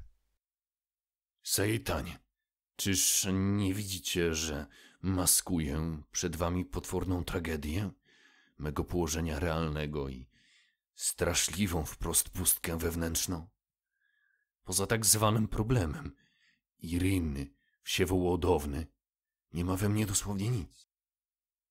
Wyjedzona skorupka od nigdy niebyłego raka. Witkacy, ten zakopiański zagwazdraniec, chciał mnie namówić na zajmowanie się filozofią i tego nie mogłem nawet zrobić. Jak ona przestanie się nade mną znęcać, po prostu przestanę istnieć, a żyć będę musiał z przyzwyczajenia. I żreć tę wąparsję w sosach nieomal astralnych, gdy my tu łapiemy sześć wszy na minutę. Nie śpimy wcale od ciągłego swędzenia. W zimę marzniemy, a w lecie dusimy się od upału w smrodzie nieomal transcendentalnym i stałym, wszechstronnym rozdrażnieniu wszystkich zmysłów, dochodzącym do szału, w nienawiści, zawiści i zazdrości, w potęgach wprost niewyrażalnych słowami, a tylko pchnięciem Robi gest. Dość o tym, bo ja się uduszę w sobie jak młoda kaczka, bo ja wiem, co mówię. Jestem abut me fos vital. Chcesz wiedzieć? Wolę jeden. Czemu nie mogę ustąpić? Właśnie dlatego, że muszę jeść to, co muszę i co mnie nauczono.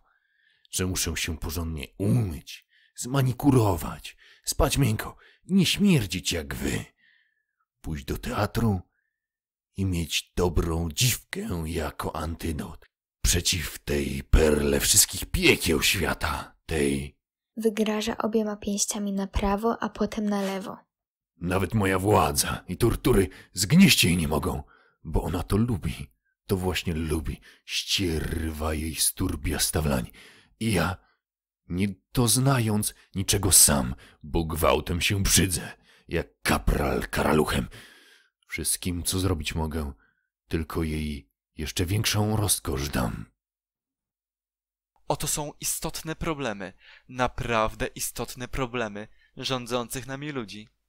To jest potworność, na którą słów brak dosłownie. Cała działalność takiego pana pozornie jest tylko dla państwa, idei, ludzkości. Naprawdę chodzi o te godziny pozabiurowe. Mówię to w cudzysłowie, gdy się objawia człowiek sam dla siebie. Milcz, nie pojmujesz potwornego konfliktu przeciwnych potęg w mym wnętrzu. Ja kłamię z całą świadomością jako minister. Ja wieszczam bez przekonania, aby żreć te wąparsje, te mątwy tak smaczne diabelnie z Zatoki Meksykańskiej. Tak, muszę kłamać. I powiem ci, że dziś 98% obliczenie Głównego Urzędu Statystycznego, bo statystyka wszystkim jest dziś. I w fizyce, i co najważniejsze, w metafizyce monadologicznej z jej prymatem materii żywej. Otóż 98% tej całej naszej bandy robi to samo bez przekonania. Tylko dla utrzymania resztek ginącej klasy. Jakich indywiduów chcesz wiedzieć? Zwykłych żujserów pod maską jakiejś idei, mniej lub więcej kłamliwych. Ludzie teraz to tylko wy. To każdy wie. A dlatego tylko, żeście po tamtej stronie. Jak przejdziecie tę linijkę, będziecie tacy sami jak my. Nigdy. Przenigdy. My stworzymy bezkompromisową ludzkość. Sowiecka Rosja to tylko bohaterska próbka. Dobra i taka, jako wysepka we wrogim oceanie.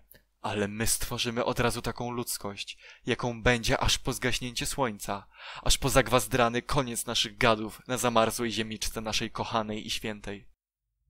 Zawsze musi coś takiego niesmacznego kropnąć. Tak tu się hołota nie nauczy nigdy i poczucia miary. Do pisuaru z nim! Wywlekają pierwszego czeladnika do pisuaru. A ty miarę masz. Jak myślisz o niej, ty świniarzu? Żachnąłem się, zrzymnąłem się i lepiej mi od razu jest. Dzwoni wyręczny dzwonek. Wpada straż z dwóch stron za balaskami. Dawać mi tu tę Irinę, tmu tarakańską, na konfrontację. Czemu tak mówię? Nie wiem. To nie dowcip. To dziwna, surrealistyczna konieczność w dowolności. Czym się zajmuje ten potwór? Jakimiś subtelnościami zupełnych kretynizmów? Oto ich tak zwane życie intelektualne po obowiązkowej gnębicielskiej pracy po biurach i buduarach. Nie zrozumiecie całego uroku znastwa czegokolwiek, bądź u bezpłodnych impotentów takich jak ja. To są otchłanne rozkosze usprawiedliwiania swojego bytu. Takie dziamdziania się w sobie. A dałbyś pan już spokój. Bóg z tobą, panie Skerwi. Boże, Boże, mówię to machinalnie. Ta pustka tych dni. Czym ją zapełnić zdołam? Rozmowa z tym wcielonym kłamem. Wskazuje na prokuratora. Zdawała mi się rajem wobec samotności i przymusowego celkowego bezczynu. O, względności wszystkiego. Obym się nie zmienił tak. Obym siebie poznać już nie mógł. Kim będę za trzy dni? Za dwa tygodnie? Za trzy lata? Lata? Lata? Pada na kolana i płacze. Stróżowie wprowadzają księżnę do kompartymentu na prawo, rzucają koło zydli i wychodzą. Księżna w ubranku aresztanckim wygląda uroczo, jak młoda gimnazjalistka. Proszę pracować.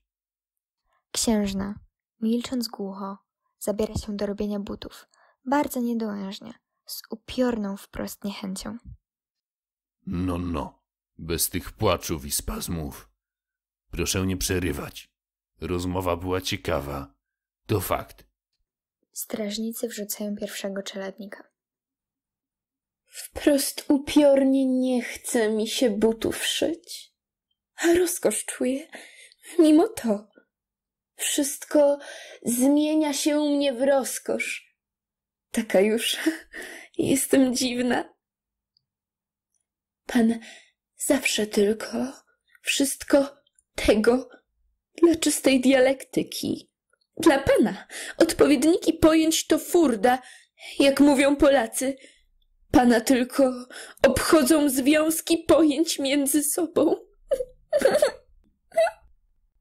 Na przykład związek pojęcia pani ciała, czyli ściślej rozciągłości samej dla siebie, z pojęciem jakiejże rozciągłości mojej.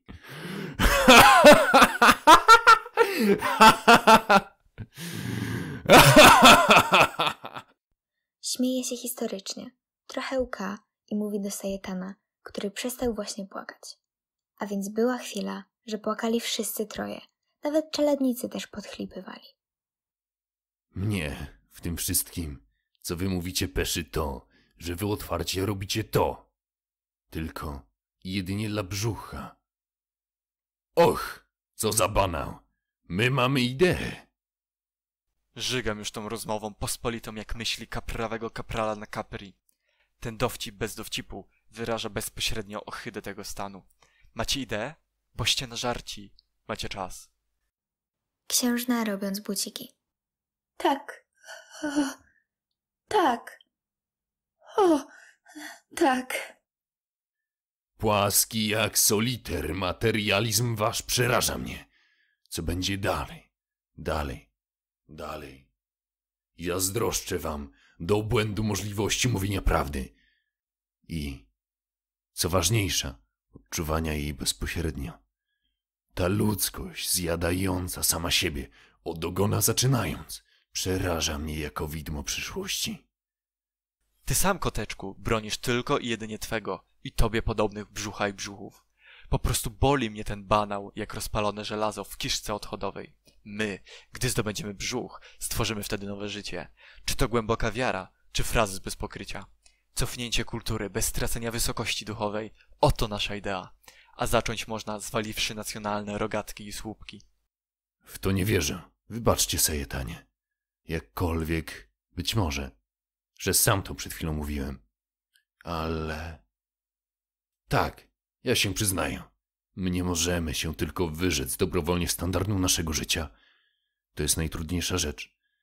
To zrobiło paru świętych, ale nie wie dokładnie nikt, jaką im to dało rozkosz piekielną w innym wymiarze. Kompensata być musi, ale ilu świętych znowu cierpiało nieludzko do końca życia przez ambicje, honor i ciśnienie organizacji. Czekajcie, pozwólcie mi myśleć. Jak mówił Emil Beretier, kiedyś, gdyby nikt nie dążył do wyższego standardu, nie byłoby nic, żadnej kultury, nauki, sztuki. Komunistyczny, totemiczny klan pierwotny trwałby bez spotlaczu tej śmiesznej rywalizacji jako początku władzy. Wiem, złowić 600 ryb, gdy przeciwnik tylko 300 i na przykład 200 wrzucić na powrót do morza. Mądrzyście, Sajetanie, bo mądrzy. Otóż trwałby ten klan aż do zgaśnięcia słońca i co? Bezforemny, a strukturalny, bez możliwości przezwyciężenia siebie w wyższych regionach form bytowania społecznego. Ale mój codzienny dzionek, który wydarłem ja, mały prowincjonalny burżujek, z nicości wprost, przez naukę prawa, przez długie lata prawomocnego mordowania zbrodniarzy, przez potworne wprost obkuwanie się wszystkim w wolnych chwilach mych cudnych, należy tylko do mnie i nie oddam go dobrowolnie nigdy. Ale z drugiej strony nie wierzę już w nowe życie, które stworzyć macie wy. Oto moja tragedia, jak na patelni. Pluję na nią, gwazdram. Bezkresne są możliwości, jeśli spadną bariery między narodami. Myśli, które powstaną wtedy, nie dadzą się obliczyć dziś z naszą znajomością historii praw i nędznym bałaganem naszych pojęć. Nie lubię, jak się spuszczacie na spekulacje powyżej waszej intelektualnej pojemności. Nie macie odpowiednich pojęć, aby to wyrazić. Ja aparat pojęciowy mam, aby kłamać. Tej tragedii nie pojmuje nikt. A, to aż dziwne chwilami jest. Tragedia zaczyna się tam, gdzie boli we wątpiach. Te myśli nie dochodzą ci, prokuratorze, do nerwu błędnego. To tylko kora mózgowa cierpi bezboleśnie. Wspaniale, ścierwa i mać. To je dla nas, z naszego punktu widzenia, czysta zabawa. Ino te twoje tragedie to rozkosz. Położyć się wieczorem po dziwkach i wąparsjach w łóżeczku, poczytać se, pomyśleć o takich bzdurach i zasnąć, ciesząc się, że jest się takim interesującym panem dla jakiejś lafiryndy zafądzianej. O, gdybym ja się mógł taką tragedią zabawić. Boże, cóż to byłoby za nieludzkie szczęście. Co za szczęście! O, żeby mi te flaki choć na chwilę przestały boleć za siebie i za ludzkość całą. O, hej! Skręca się cały. Księżna z lubością się śmieje. Nie śmiej się, małpo, z taką lubością, bo pęknę. Otóż to trzeba by udowodnić, że one za ludzkość całą was bolą. Może takich wypadków w ogóle nie ma? Ciężkie milczenie trwa bardzo długo. Mówi Skerwin na tle ciszy, w której słychać dalekie tango w radiu. To dancing w hotelu Savoy w Londynie. Tam się bawią naprawdę. Pozwólcie mi wyjść na chwilę. Ja też jestem człowiekiem. Wybiega na lewo. Taki to syćko sewej zrobi. Kie zechce, a my nawet. Cicho! Nie śmieszcie mnie. Zupełnie łaskoczycie mi mózg waszymi pomysłami. O gołąbeczko moja, ty nie wiesz, jak szczęśliwą jesteś, że pracować możesz. Jak się nam rwą do pracy te gicale i paluchy śmierdzące. Jak się syćko w nas do tej jedynej pocieszycielki wypina. Jazę do pęknięcia, a tu nic. Patrz w szarą, chropawą do tego ścianę. Wariuj ile chcesz. Myśli lazą jak pluskwy do łóżka i puchną te bolące wątpia z nudy tak strasznej, jak góra Gauryzankar, jak i a śmierdzące jak klołka Maxima, jak Mount Excrement z powieści fantastycznej pisarza Bulldoga Myrkę, z nudy, która boli jak wrzód, jak karbunkuł, znowu psiachyl słów mi brak, a gadać się chce jak czego innego. E, co tu gadać? I tak nikt tego nie zrozumie. Już mi nawet zabrakło samej przedsłownej mazi. I po co tu co wyrażać? Po co ryczeć i łkać? Po co flaki pruć? Po prostu i na wspak. Po co? Po co? Po co? To okropne słowo po co? To wcielenie najboleśniejszej nicości. A więc po co? Kiedy pracy nie ma i nic z tego być nie może. Pełznie do kraty. Jasna pani, ukochana jedyna moja pieszczotko, koteczko transcendentalna, metampsychiczne cielątko Boże, bogoziemne, a tak przyjemne, zmyślne i pojętne jak myszka jaka czy co. Ty nie wiesz, jak szczęśliwą jesteś, że pracę masz. To jedyne usprawiedliwienie stworu żywego w jego nędzy ograniczeń wszelakich, od czasoprzestrzennych począwszy. Umetafizycznienie pracy jest przejściowym okresem tej kwestii. Wielcy panowie egipscy tego nie potrzebowali, jak również nie będą potrzebować ludzie przyszłości. Ten wyjął pracę, która mnie wprost w dwójnasób i duchowo, i fizycznie łamie. Oto jest względność wszystkiego. To wpływ tego Einsteina. Ja dawno już Abyś jest wstyd, psio krew zapowietrzona. To jest inteligencka trajdocha. Taż ja to wiem już, że teoria względności w fizyce nic nie ma do czynienia ze względnością etyki i estetyki i dialektyki i tak dalej. Tamda lambda, tramda lambda. Nie będę gadał. Żygać się od tej gadaniny ino chcę. Hej, hej, sajetanie. Nie będziemy gadać niepotrzebnych rzeczy. Takośmy ta se wtedy gadali. A teraz co?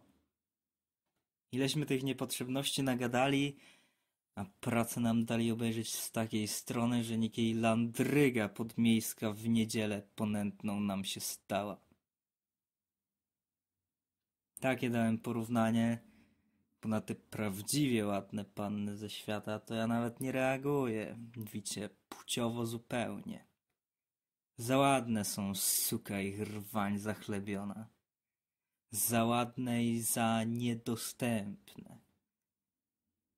Za ładne i za niedostępne. I na równi mi się chce buty szyć, jak dziwek prostych, ordynarnych. Dajcie pracy, bo będzie źle. Ale co to kogo obchodzi? To mówię z okropną wprost rezygnacją. Dla nikogo dziś niepojętą. Znudziły mi się wszystkie flandiumondy i zwykłych dziwek mi się wprost potwornie chce. Chciałbym mieć nowe, całkiem dziś oglądy, a potem zrobić coś takiego bardzo fe. Księżna nasłuchuje bardzo uważnie. Nie będziesz do społeczeństwa jak do matki mówił i się do niego modlił, bo cię nie zrozumi i jeszcze ci w pyzdry kopniaka za te umizgi dziecięce da. Hej! O, nie mówcie tego hej! Nie używajcie go na Boga. Nie przypominajcie mi tych czasów na zawsze minionych. O mamion, bo mi się wątpia drą z żałości, tak plugawej i nijak nieestetycznej, że wstyd mi okropnie i wstręt taki do siebie mam, jakbym był żywym karaluchem we własnej gębie. Hej, hej! Na katedrę wbiega Skerwi i dziwnie się zapina jakoś. Marynarkę i tego. I zaciera ręce. Księżna obserwuje go bardzo badawczo. Ostentacyjnie nieomal. Zimno, psia krew. Siarczyste we wszystkich ubikacjach tutejszych. Mrozik bierze. Będą mi dziś smakować po tym wszystkim smażone meksykańskie montewki. Tango z oddali. A przedtem pójdę na ślizgawkę przy muzyce. Potworny smród. To dusze i gniją w bezczynności ohydnej, rozkładającej ich w zdechłą marmoladę. Księżna, zabierając się do pracy. To jest sadyzm. To moja sfera i tereny. A, już nudzi mnie to do wszystkich diabłów. Jak będziecie tacy, każę was wszystkich powywieszać bez sądu. Od czego mam władzę, a? To by był wyczyn sportowy pierwszej klasy. O władzo, jakież otchłanne. Tak, otchłanne i wonne są twoje pokusy. Księżna przestaje szyć buty. Wiesz, skerwi, skrwiątko, biedne i niedojdowate. Zaczynasz mi się teraz dopiero podobać. Ja muszę przejść przez wszystko w życiu, poznać najgorsze, zapluskwione nory duszy i krystaliczne szczyty niedosiężne w księżycowe noce bez dna. Co za styl, sobaczy. Taż to skanda. Jako prawdziwej arystokratki niczym mnie speszyć nie można. To nasza wspaniała właściwość. Otóż muszę przez ciebie przejść, bo życie moje inaczej będzie niezupełne. A potem, gdy ty wsadzony przez nich, Wskazuje na szewców butem, który trzyma w lewej ręce. będziesz w lożku gnić, konając z rządzy za mną. Tak, za mną rządza, za kimś właśnie o to chodzi.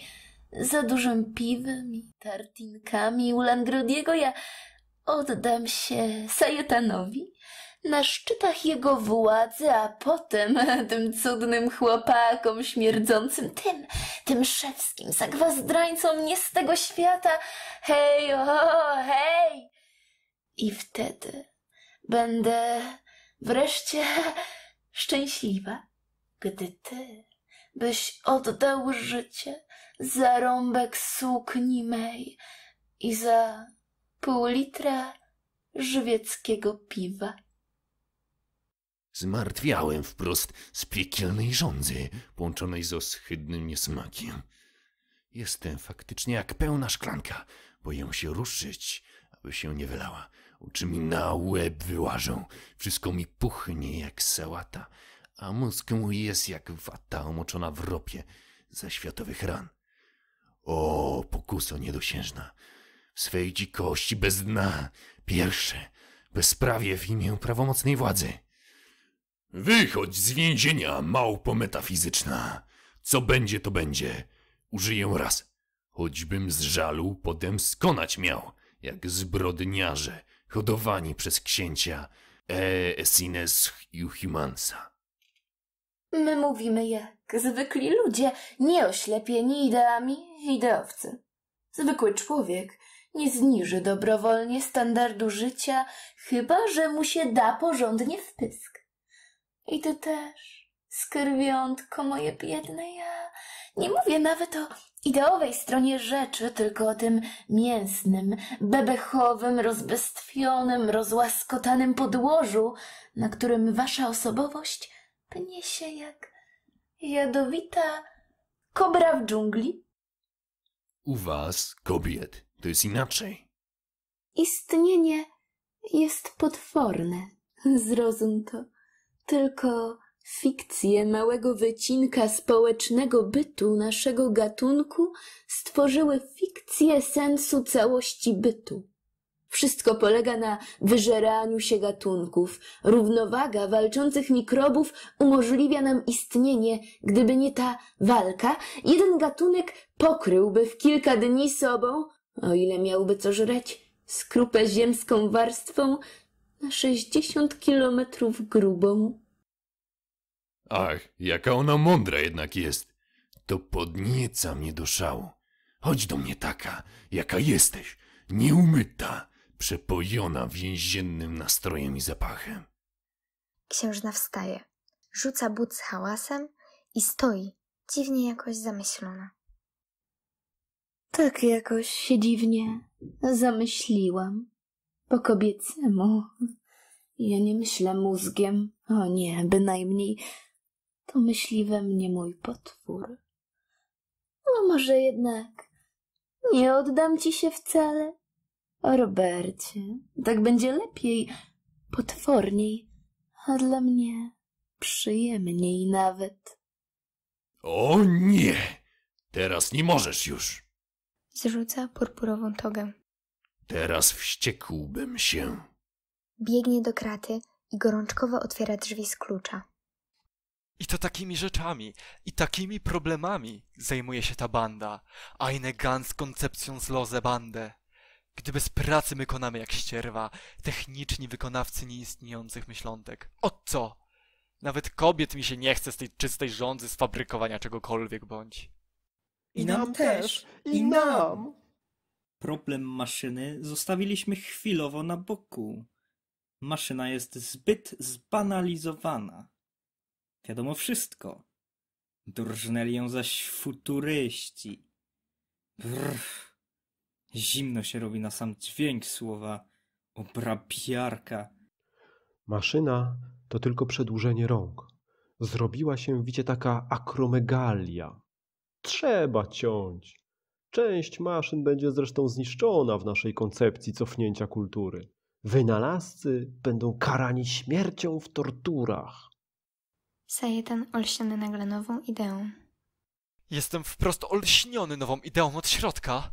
Hej, chłopcy, rozwalmy te nędzne dziecinne balaski i pracujmy wraz natychmiast jak diabły. Bierwa się, dumping ręczno-butowy, teraz albo nigdy. Hej, hej!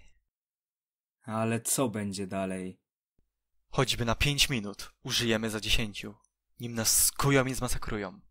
Życie jest jedno, nie myśleć nic. Gwałt pracowników nad pracą. O, hej! A walmy! Abo, abo! Sturba wasza suka! Niech ta! Co nam tam? He, he. I tym podobne wykrzykniki. Rzucają się wszyscy trzej w mig, rozwalają balaski i ciskają się jak głodne bestie na zydle, na żołądka szewskie, zwoje skór i buty. Zaczynają gorączkowo, zaciekle pracować. Tymczasem Skerry narzuca swą czerwoną togę na więzienny strój księżnej, w którym ona wyjątkowo ponętnie wygląda. Stoją zgrupowani na katedrze. On trzyma ją w objęciach. Mizdrą się. Ty mój mały prokuratorze, zacałuję cię dziś na śmierć. Księżna na tle sapania szewców. Ohydne musisz być w erotyzmie, sądząc po tym dowcipku. Przynajmniej milcz. Lubię, gdy to się odbywa jako milcząca, ponura ceremonia upodlenia samca w absolutnej ciszy. Wtedy wsłuchuje się w wieczność. Tu, dawaj dratwę, bij, o, tu ją tak. Macie, tu prędzej. Hej, kołek, daj skórkę. Przyklapnąć to to, o tak, zaklep, szyj, brać, gwazdrać, gwajdlić. Coś zaczyna być wariackiego w ich pracy. Patrz, kochanie, za gorączkowo pracują. W tym jest coś strasznego. Mówię to z prawdziwym naciskiem. Po prostu podkreślam to. To nowa epoka jakaś się zaczyna? Czy co u diabła starego? Cicho, patrzmy. To straszne. Ja tylko co byłam w tym świecie. Tyś mnie uwolnił, kochany. Sajetan odwracając ku nim głowę. Za gorączkowo pracują, A bezjańska róża, tyś nigdy tego nie rozumiał. Praca! W natchnieniu dzikim wali młotem. Tamci wyrywają sobie wszystko. Leci im to z rąk. Jęczą głucho w zapale. O, praco, praco, za ciebie, ale tobie nie zapłacą. Precz z tym, to te głupie prorocze wierszydła. Ja jestem realista. Dawaj, masz go, gwóźdź. O, gwoździu, dziwny gościu podbutowy. Któż twoją dziwność oceni? Dziwność pracy? Czyż jest wyższa marka dziwności? Wziąwszy pod uwagę ohydną pospolitość tej ostatniej. To jest pracy, kuj, wal, ręce się palą, flaków nie starczy, rżnij, smaruj i pal. Potem się chwal, póki nie wbiją na pal. Ciągle te sobacze wieszczy rymy, psia krew. Tu, podbijaj, piergo, wal, zakrzyw. To but. O, buty, buty, jakeście pikne, zabucione światy. Cały świat zabucim, zapracujem, zagwazdrzem, wszystko jedno. Więzienie, nie więzienie, pracy nikt się nie oprze. Praca to cud najwyższy, to metafizyczna jedność wielości światów. To absolut. Zapracuję się na śmierć, aż do żywota wiecznego. Może. Kto to wie, co w takiej pracy jak nasza na dnie jest? Wszystko we mnie tygoce, jak w jakiej turbinie na milion koni i klaczy parowych. Dziwek nie trza, piwa nie trza, nie trza radia, kina i pajęczarzy umysłów wszelakich. Praca sama w sobie, oto jest cel najwyższy. Arbeit an und für sich. Bierz, wal, dratwę wlecz, kłuj! Buty, buty powstają! Wyłaniają się z nicości butowego prabytu, z wiecznej, czystej idei buta, tkwiącej w otchłani idealnej, pustej, jak sto milionów stodół. Kuj, kuj, okute buty nie drą się. To jest prawda i to absolutna. Tyle jest prawd, ile butów i tyle pojęć buta, ile wynosi liczność, ale w jeden. Boże, daj tylko tak do końca. Dziwek nie trza. Arbeit an sich. To w serce jakby sztych. Piwa nie trza. Niech nikt mi mózgu już nie przewietrza. Szczęścia idzie z flaków własnych. Tajny nurt. Idzie furt. Ręczna buciornia wali jak piekło. To wszystko już z nas wywlekło, a nie nastarczy butów dla całego świata na hurt. Nędzny wiersz. Ale nie o to chodzi. But się rodzi. But się rodzi. Widzisz go? Stworzyli nową metafizykę. I ręką to niebezpieczna bomba. To pocisk nowej marki z nieistniejących zaświatów. Ja, Irenko, się pierwszy raz w życiu boję.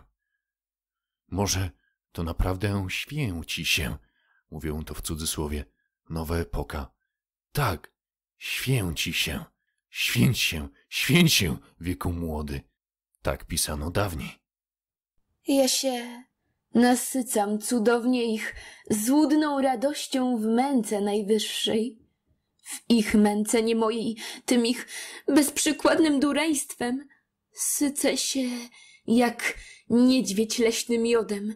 My, dwa mózgi w istocie zbrodnicze, złączone płciowym uściskiem bez pośrednictwa innych przyrządów. Ale tak nie będzie. Tylko tak nie będzie? Co? Nie będzie? Będzie wszystko? Powiedz, że tak. Powiedz, że tak, bo umrę. Może dziś poznasz całą moją nicość. Może. Tamci ciągle mruczą i sapią, pracując bez wytchnienia. Patrz, coraz dziczej pracują. Tu spełnia się nareszcie coś naprawdę strasznego, czego nie przewidzieli żadni ekonomiści świata. Patrz, kochanie moje, ja umrę. Dziś już nie chcę nic poza tobą. To tak się mówi. Dopiero dziś Zaczniesz żyć naprawdę, ale co kogo to obchodzi? Czuję małość wszystkiego. Ach, gdyby tak wypełnić sobą świat i zdechnąć, choćby pod płotem zaraz potem. Artystyczne problemy. Precz z tym parszywym nienasyceniem formą i treścią. Patrz, dzika, a raczej udziczona praca, wydzielona jako czysty instynkt pierwotny. Jak instynkt żarcia i płodzenia. Uciekajmy stąd, bo ja oszaleję po prostu. Patrz w moje oczy. Ależ kochanie, trzeba wytrzymać tę nawałę pracy, za jaką bądź cenę, bo to jest naprawdę niesamowite. I oni naprawdę, jeśli ta psychoza się rozprzestrzeni, rozwalą świat i zniszczą wszelkie sztuczne zastawki i spod zgniłego ścierwa idei nowotworów wyciągną biedną, skarlałą ludzkość na pośmiewisko małp, świni, lemurów i gadów, niezdegenerowanych gatunków naszych przodków. Po co gadasz? Do cholery ciężkiej. Biedaczką, biedaczką straszną jest ludzkość. Myśmy się ponad nią wyeliminowali na tę jedną sekundę wyższej świadomości naszej osobowej nędzy i bezcenności naszych uczuć. I w tej jednej, niepowrotnej chwili musisz jedność stanowić ze mną, kanalio! Całuje księżna i gwiżdże na palcach. Wpadają te same pachołki gnębona, puczy mordy, co w akcie pierwszym. Syn Sajetana na czele. Brać ich, rozdzielić po leniwiach, nie dać im robić nic, ani mrumru, bo to najgorsze, nieznane niebezpieczeństwo ludzkości.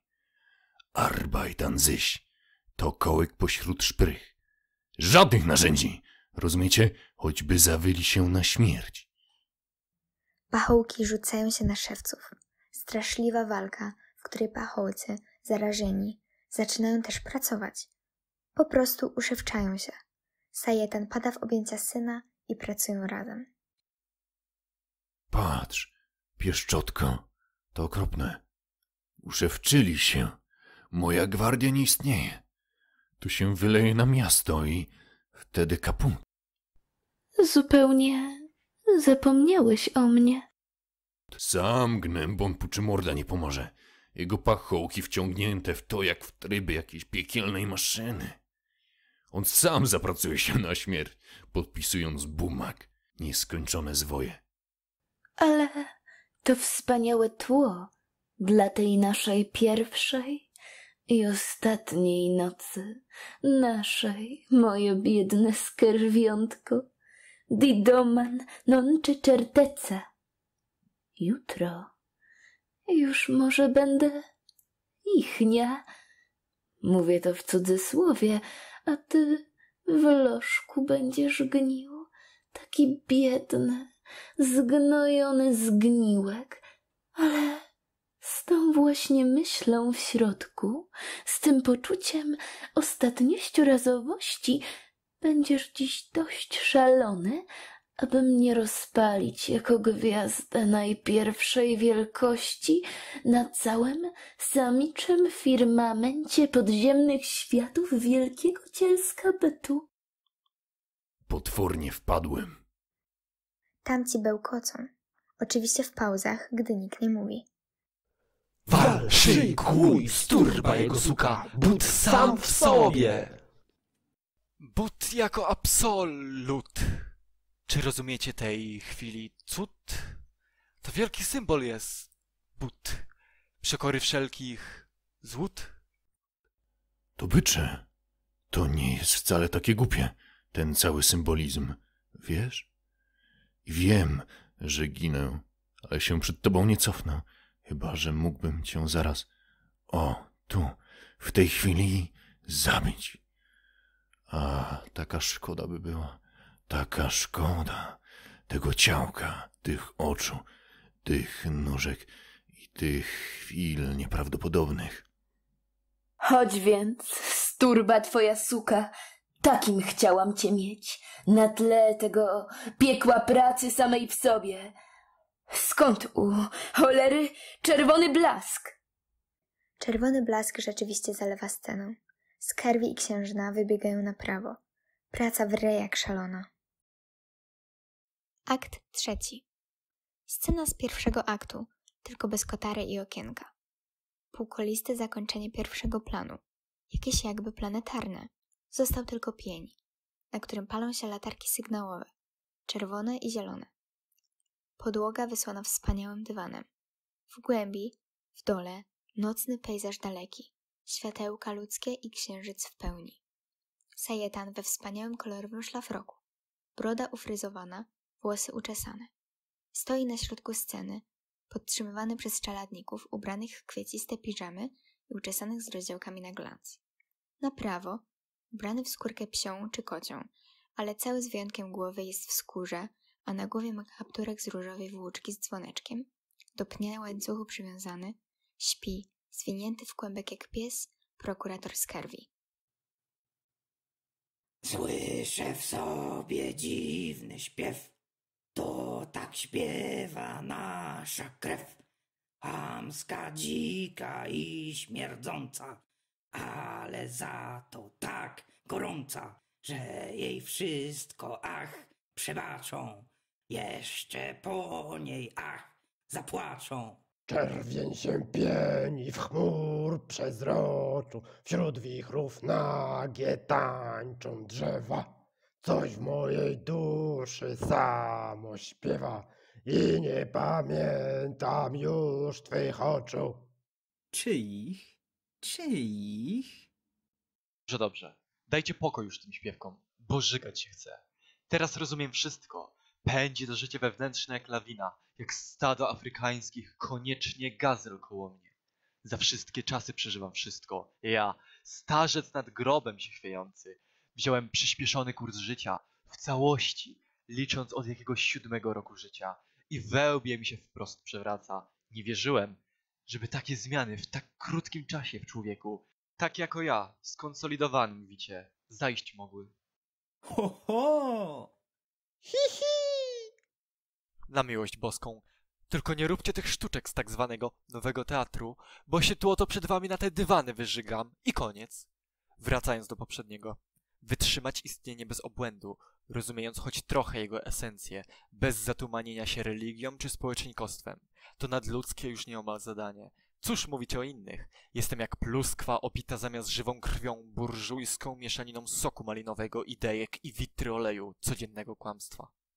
Cichojcie, majster. Zasłuchajmy się w dobrobyt wewnętrzny, w ten komfort bytowania swobodnego w swej własnej psychice jak w futerale. Hej! Czy to tylko złudzenie, że my naprawdę nowe życie tworzymy? Może się tak łudzimy, aby ten komfort właśnie usprawiedliwić? A może rządzą nami siły, których istoty nie znamy i jesteśmy w ich rękach marionetkami tylko?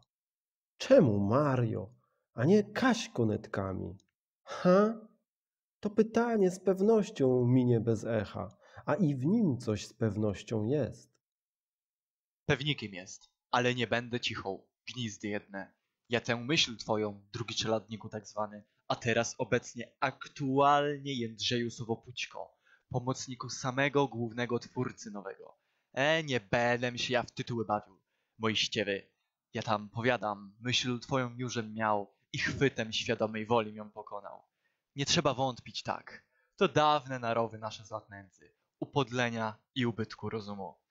Tyra je mamy nadrobić, a nie dziamdziać mędrkując, czy abyśmy nie są jako te siedemnastowieczne wolumpsiarki jakieś, fałszywego wewnątrz wątpiów naszych pokroju kompromisowego kaleki, komunizujące, niedoburżujskie ścierwantyny, ślizgające się niezręcznie na posadzkach wyświechtanych demokratycznie i do kupy zasmrodzonej z tymi wiarami w tajne siły i organizacje, masońskie i inne. To reszta religii i magii w nas się kołace. Ale ten będzie chłop, co się standardu swego życia wyrzeknie, zamiast go podnosić bez końca, aż do pęknięcia. Że też wszystko w historii pękać musi, a nie na smarach rozumu gładko się w przyszłość przesuwać. Prawo nieciągłości. Aż boli od tego gadania, purwa jej sucza maść. Aleście się, majster, zmienili. Tego nie zaprzeczycie. A kierunek zmiany tej jest taki sam jak mojej. Chociaż jakościowo to różne zmiany są. Czy to nieprawda, co mówił były prokurator, żeśmy tacy, bośmy po tamtej stronie i że jak na tę przejdziemy, to się staniemy jak oni. A siły tajne i ludzie tajni są. Tylko jakościowo od jawnych się nie różnią. Taka je różnica czasów. Hej! To pozory są ino zewnętrzne, na tle gwałtowności przemian społeczności naszej. Czy nie moglibyście wyzbyć się tego sobaczego z chłopska staropolską proroczego napuszonego sposobu gadania? A nade wszystko ilości samych słów? Nie. I jako Lenin, jako sługa klasy, różnił się mimo całej morowości indywidualnej od Aleksandra Wielkiego, który osobowym fanatystą potęgi był. Tako ja się różnię od tego psa. Wskazuje na śpiącego Skarwiego. A zresztą nie czas gadać. Robić trza. Samo się nie zrobi. Psiają mać tę rzeczywistość po trzykroć. E, skończyły się rozkoszne czasy idei. Co to, wicie, można było majonez żreć, a bolszewikiem ideowym być, aby się w nędzy ostatniej tymiż ideami na glans pocieszać. Że to niby kim się w ekskrementaliach, gnijąc mimo wszystko jest. Nowej idei nie wymyśli już nikt. Nowa forma społecznego bytu sama się wytłamsi, wyiskrzy, wyflancuje z dialektycznej zgagi wszystkich bebechów tego kotła ludzkości, na którym na samym doparniku, przy samej klapie bezpieczeństwa siedzimy my. Dawne szlądry syny dudławe, a teraz twórcy i nożenie radośni, psia ich suka zaskomrana. Nas tak znudziły te przekleństwa, że chyba zaczniemy wyć. Kuler, lokal, psia krew. Mówimy razem intuicyjnie jak jeden mąż. Możemy tak mówić wciąż. Dajcie spokój, na Boże miłosierdzie. Dosyć tego. Dosyć. Skerwi przez sen, przeciągając się po paru pomrukach.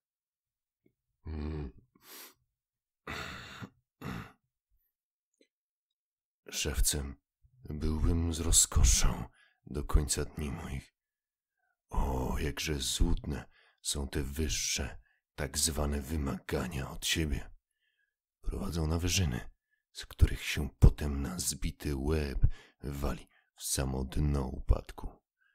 Ach, a potem wypłynąć na wielkie, niebotyczne chyby, na wielkie hupcium ciupcium.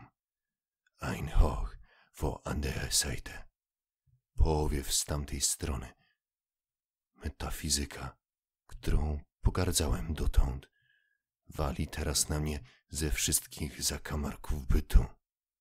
U commencement bytos i te. Otchłań chaosu.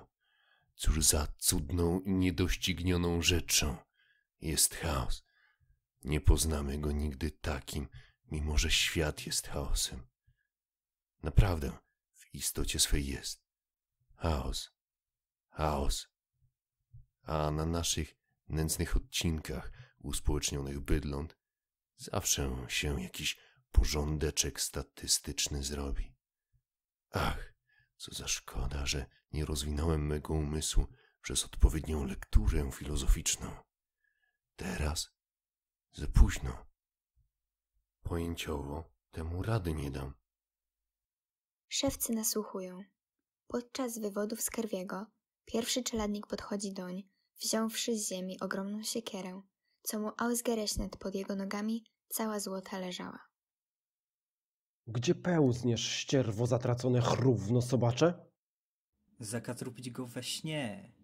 Niech się nie męczy. Za piękne se jucha sny wyhodował. Ausgerechnet mi tu leżała siekiera. Cała złota.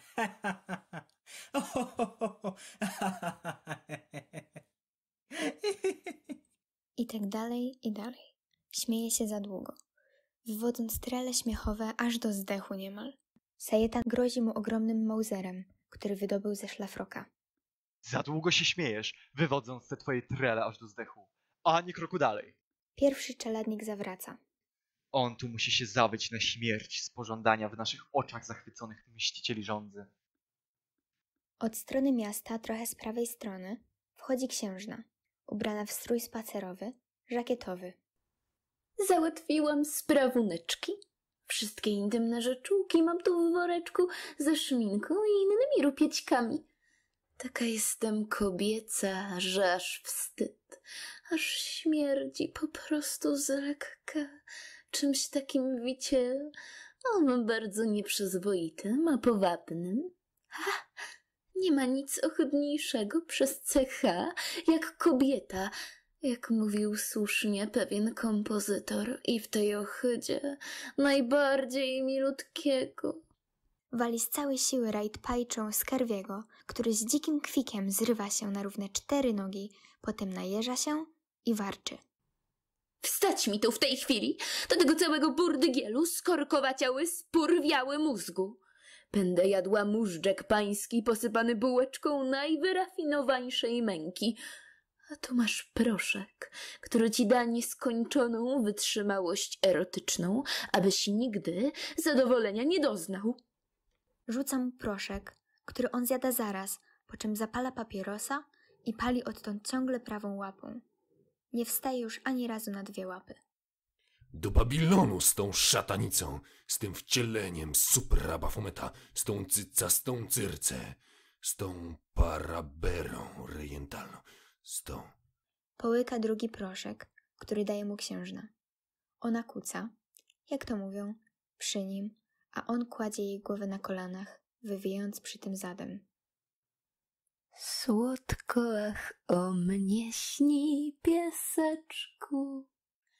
Nie wstaniesz już na łapki dwie. Tak cię zamęczę słodko po troszeczku.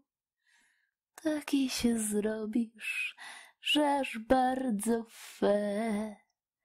I nigdy nie będziesz mnie miał, a mózg twój będzie wprost jak czyjś kał. Nawet nie twój własny, w tym będzie urok straszny. Gładzi Skerwiego. Skerwi zasypia mrucząc. Przeklęte babsko, jakież cudowne życie było przede mną, nim ją poznałem.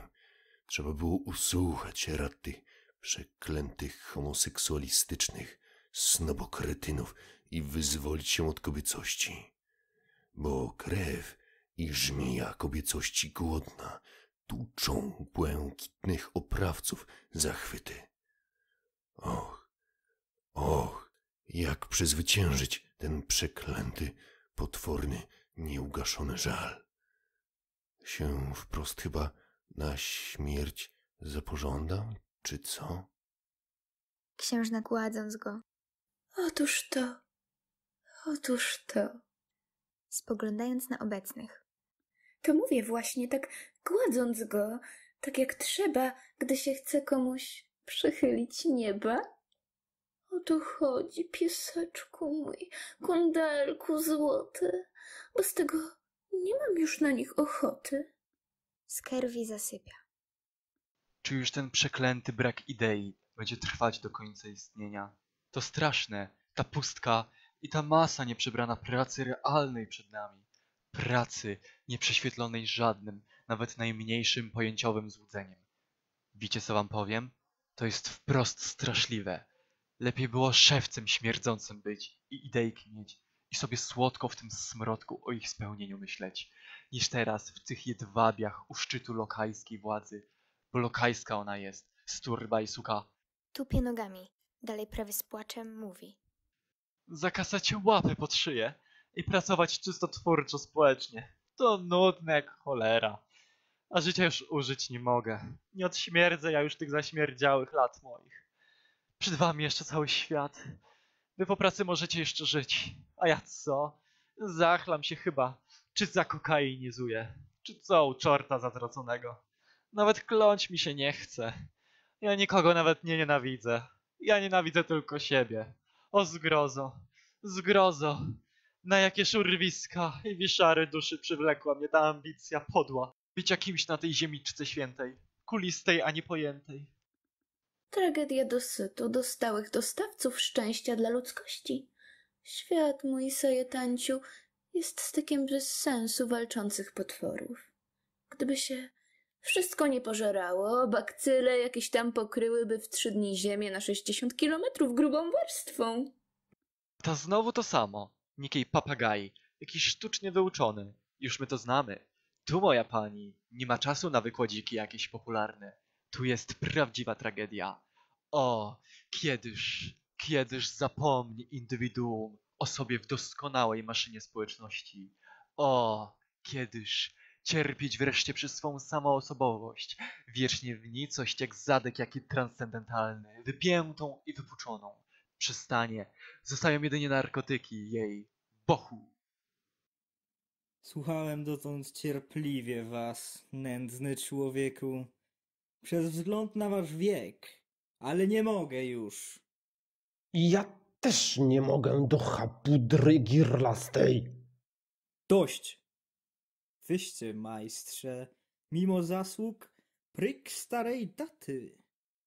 Nic wam do naszego młodego życia. My nie nawóz jako wy, my sama jądrowatość przyszłości. Mówię źle, bo natchnienia nijakiego nie mam.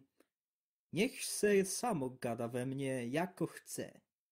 Otóż, com chciał rzec, wy tylko nas zniechęcacie tą całą waszą do kupy starej, niepotrzebną, zafirkaną analityką, której narzędzia jeszcze burżujskie lokajczyki Kant i Leibniz stworzyli. Wąt z tym jednym, z drugim na przechwistany dymulec. Hej, hej! Cichajcie se, janiołowie niebiescy, a dyć to je dialektyka pirsej wody kublastej. A to jestem zdumiony w najwyższym stopniu.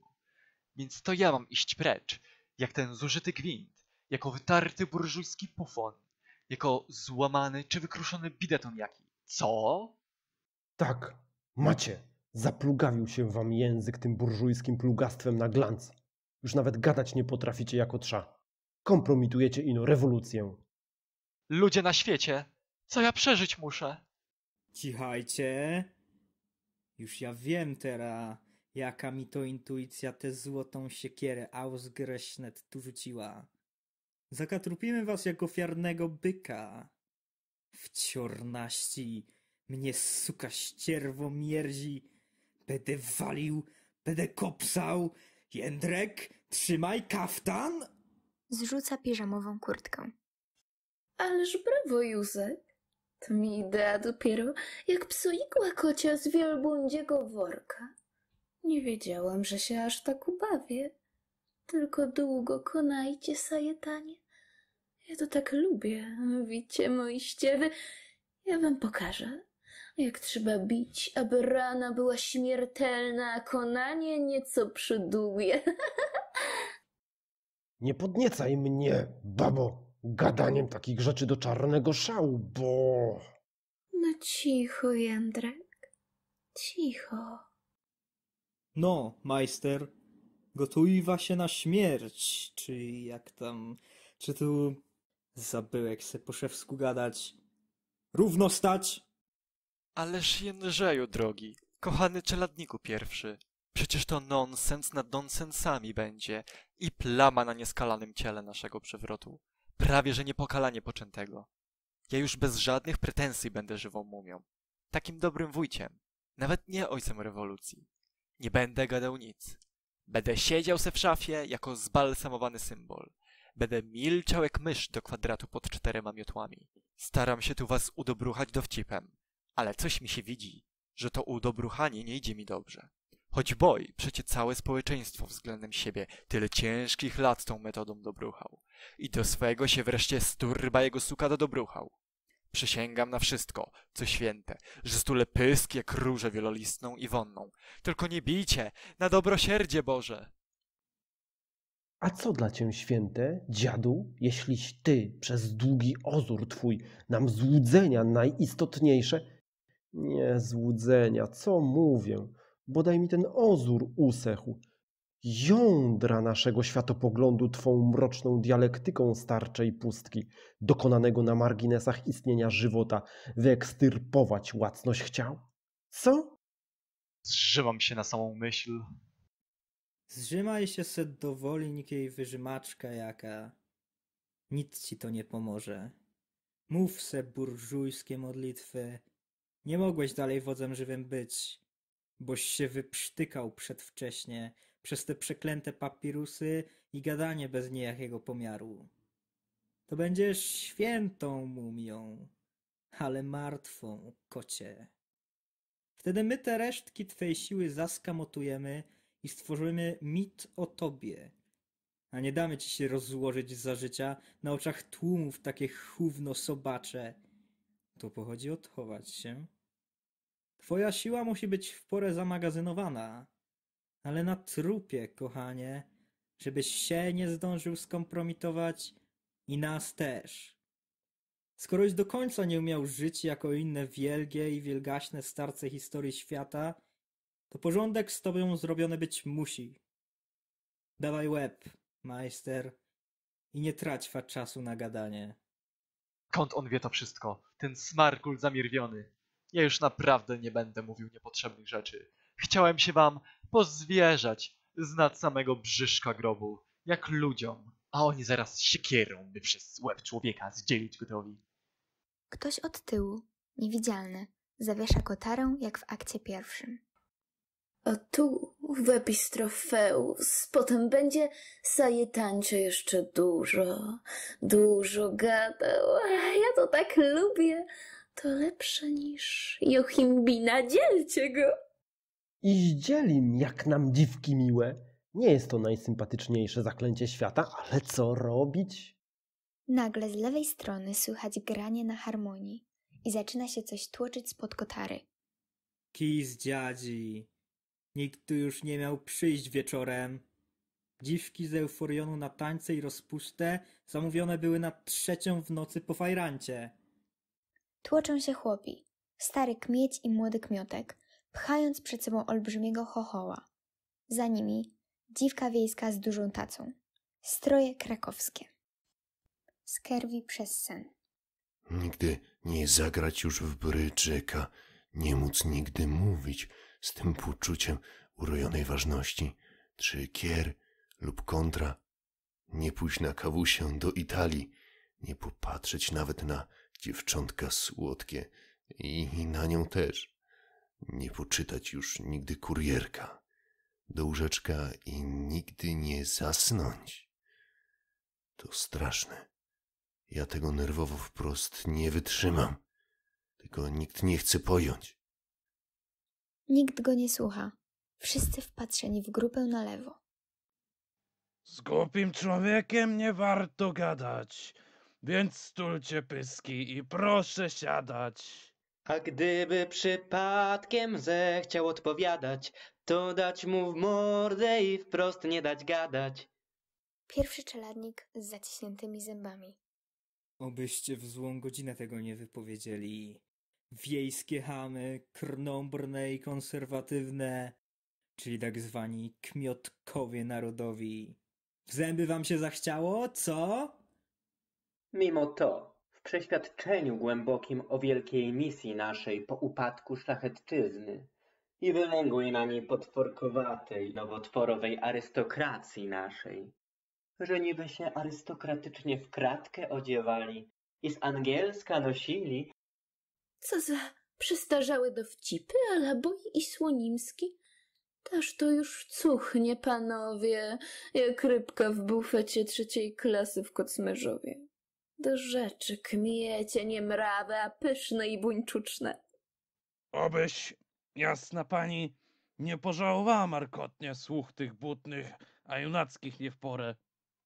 Stul pysk chamie, bo się wyżygam z niesmaku. Lechoń byłby niezadowolony, że tak mówię, bo on zna tylko księżne z Pajfów w MSZ-cie, a ja jestem taka i będę. Chełbia wasza wlań świecąca? Dość kłótni. Dzięki wam, kmiecie w pseudoszlachcickich ambicjach znieprawione, odzyskałem utraconą pozycję i zawrę z wami pakt nieomal iście książęcy. Swobód pańszczyźnianych negować wam nie myślę. Musicie stworzyć dobrowolny zbiorogosp, z akcentem oczywiście na ostatnią sylabę. Kmieć rozstawiając ręce. Nie rozumiemy cię, panie. My tu przyszli z dobrą wolą, jak równy z równym gadać. Bo chłop na zagrozie zawsze młodzie, mocium panie tego. A każda morda dobra jest do korda, a z dobrego pługa nie zrobisz asiędziej kanczuga. Zacofane plemię. Jakbym jakieś echa szlacheckie, sienkiewiczowskie jeszcze słyszał. Oni się dopiero uszlachcają. Też to skandal. Przekładaniec ewolucyjny anachronicznych warstw pierwszej klasy. Będę się streszczał. My tu przyszli z chochołem samego pana Wyspiańskiego, z którego idei nawet faszyści chcieli zrobić podstawę metafizyczną narodową ich radosnej wiedzy o użyciu życia i użyciu państwa dla celów samoobrony międzynarodowej koncentracji kapitału, a także Milcz, chamie, bo dam w pysk. Nie dałeś mi pan skończyć i wyszedł krwawy nonsens a la Witkacy. Ja znam waszą krytykę. E, co tam, śpiewajmy lepiej, przez muzykę pojmą nas, no. Przyszliśmy tu z tym chochołem i z tym sercem naszym gołem. Dziwka wysuwa się na pierwszy plan z tacą, na której dyszy wolno, wielkie jak utura serce. Mechanizm zegarowy. Mówić chcemy po wyspiańsku, a nie nowocześnie drańsku. Z nami jest ta dziwka bosa. Ino teraz się obła dla przyzwoitości, bo jakże tak między ludzi boso, wicie, haj! Co świat cały zbawić miała, jako synier moja kosa, to jest siła moja cała. Przebrzmiałe symbole. Dziwek bosych mam ile chcę, ale to są najładniejsze tancerki kraju i z ich nogami mogę robić, co mi się żywnie podoba. Księżna zrywa się gwałtownie i zrzuca pantofelki i pończochy. Wszyscy patrzą i czekają. Ja mam najpiękniejsze nogi na świecie? O, nie mów tak! O, czemuż, czemuż zasnąłem? Nieszczęsny. Obudzenie się każe mi całą mękę przeżywać od nowa. Wyrażam się górnolotnie, bo nic już do stracenia nie mam.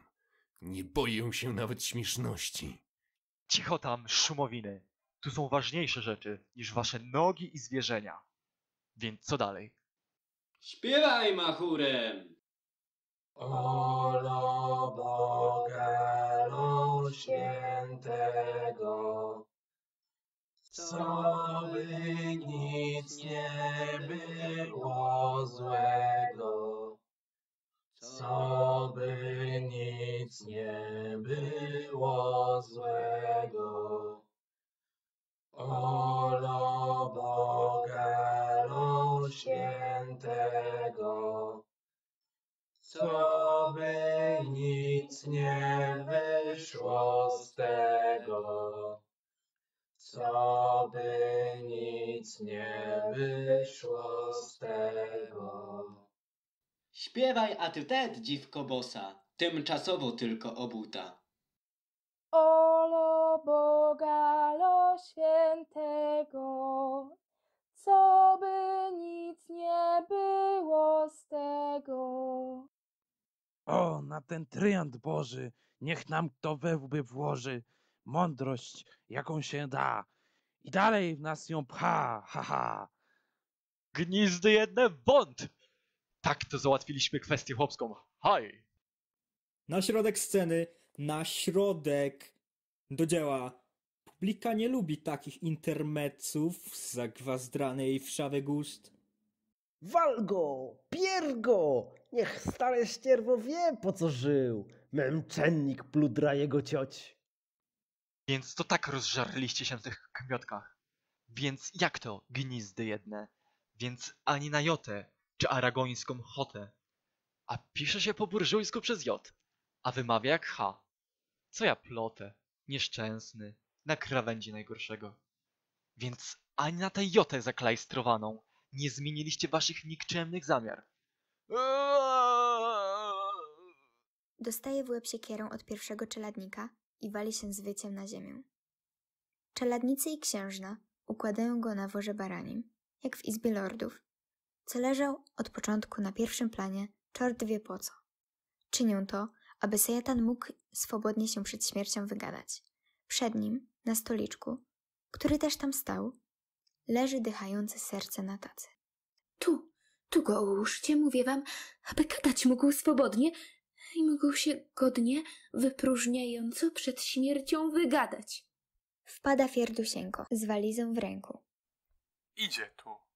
Jak pochód nieszczęścia po prostu. Jakiś straszny nadrewolucjonista. Jakiś hiperrobociarz wprost. To pewnie jeden z tych, co naprawdę rządzą. Bo te kukły Wskazuje na szewców. to komedia ino. Ma bombę jak Sagan i handgranatów całą kupę i grozi tym wszystkim każdemu, a swoje życie ma tam, gdzie w ogóle nie trzeba mówić. I tego... Co to ja chciałem powiedzieć? Bez głupich wiców. A kostiumy Fierdusieńko ma? To najważniejsze. A jakże? Tylko nie wiem, czy za chwilę nie wylecimy wszyscy w powietrze. Straszliwe kroki za sceną. Facet ma ołowione podeszwy. Ten robociarz to wyższa marka niż ta dziewka Wyspiańskiego. To żywy, zmechanizowany trup. Nad człowiek niczego nie narodzi się wśród junkrów pruskich, tylko wśród proletariatu, który niektórzy uczeni całkiem niesłusznie uważają za kloakę ludzkości. A ty czego ciągle po lokajsku ubrany chodzisz? Nie wiesz, że teraz jest swoboda? Co? E, lokaj, lokajem zawsze pozostanie. W takim czy innym reżimie. Wsiorawno. Zaraz lecimy w powietrze. Wy możecie uciec. Wyście ludzie wolni. A ja? Pół pies, pół nie wiem wprost co. Ja oszaleję chyba niedługo. Tego się uniknąć nie da. Nie zdążysz, cholero, bo my ci urządzimy taką sztukę, że zdechniesz z nienasycenia. Jeszcze na dwa stopnie w morskiej skali Buforta. Przed ostatnim cyklonem o błędziku, który byłby rozkoszą wobec tego, co ciebie czeka. Skerwi skomli, a potem wyje. To są głupie frazesy. A jednak. Mu! Au! Jak boli całe niespełnione życie. Chciałem umrzeć z wycieńczenia, jako piękny, wzniosły aż od paznokci u nóg zdarzec. O życie, teraz wiem, żeś jedno. Puchnie mi wszystko na grubość ręki. Od tej ohydnej udręki. Teraz dopiero rozumiem tych nieszczęśników, co mi skazywał na śmierć i więzienie. To banalne, ale tak jest. Straszny hiperrobociarz. Wchodząc, bomba w ręku. Ja należę do nich. Jestem Oleander Puzyrkiewicz, któregoś pan skazał na dożywód, panie Scurvy. Alem Gracko zniknął. Ja wiem, że to wstrętnie powiedziane, ale języka już nie odwrócę. Pamiętasz, coś zrobił ze mną, sadysto? Mam zgruchotane, zmiażdżone wszystko, rozumiesz? Dosłownie wszystko. Wszystkie geny i gamety. Ale duch mój, który jedność z moim ciałem stanowi, jest z byczego surowca, maczonego w płynnej, parskającej stali szmirglowanej. Tu mam bombę, która jest najwybuchliwsza ze wszystkich hoch explosive bomb na świecie i krótką mam decyzję jak piorun. Masz za te bombasy moje ukochane niedoszłe, które zginęły przez ciebie, kafirze.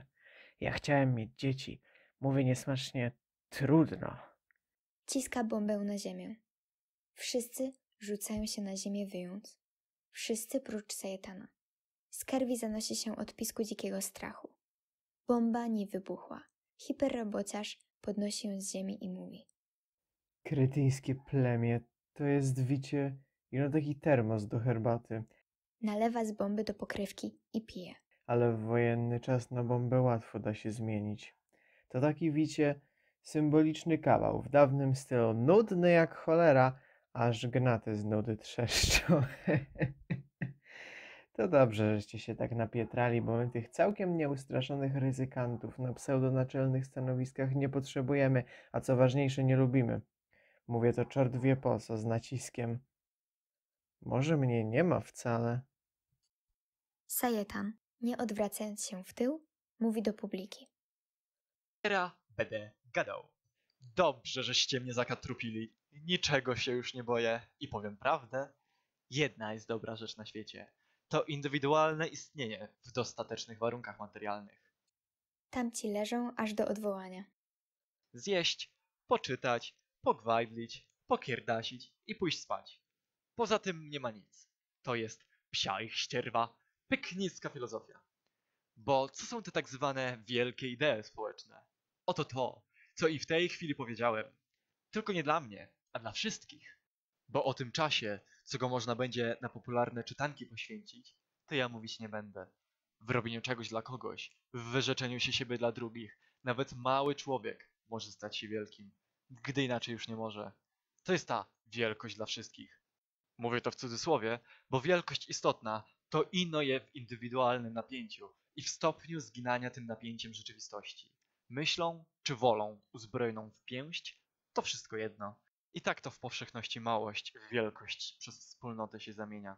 Do cholery w ogóle z takim rozumowaniem. Hiperrobociarz podchodzi do niego i wali mu z dużego kolta w ucho. Sajetan mówi dalej, jakby nic. Wszyscy podnoszą się. Tylko jeden, Fierdusieńko, leży dalej. I to wszystko niezależnie od tego, czy indywiduum jest osobowym fanatystą i maniakiem swojej N potęgi, czy sługą i wyrazicielem klasy jakiejś. Wszystko jedno jakiej. Zmieniłeś pan front, Mr. Silver? Jakże do tegoż Tom Morgan? Księżna bardzo arystokratycznie. Wstań, Fierdusieńko. To są symbole tylko. To tylko i jedynie planimetria zbaraniałych mózgów. To tylko entymemat zabójczy, którego jedną premisę to jest ludzkość całą już diabli wzięli. To tylko... Fierdusieńko wstaje i wydobywa z walizy wspaniały kostium rajskiego ptaka, w który zaczyna ubierać księżę. Zdejmuje jej żakiet, przerywając w ten sposób dalsze jej wywnętrzania, a potem wkłada tam te rzeczy. Tylko nogi pozostają gołe. Nad nimi krótka spódniczka zielona, powyżej kolan się kończąca. Księżna milknie powoli od tego ubierania, bełkocąc jeszcze chwilkę coś nieartykułowanego.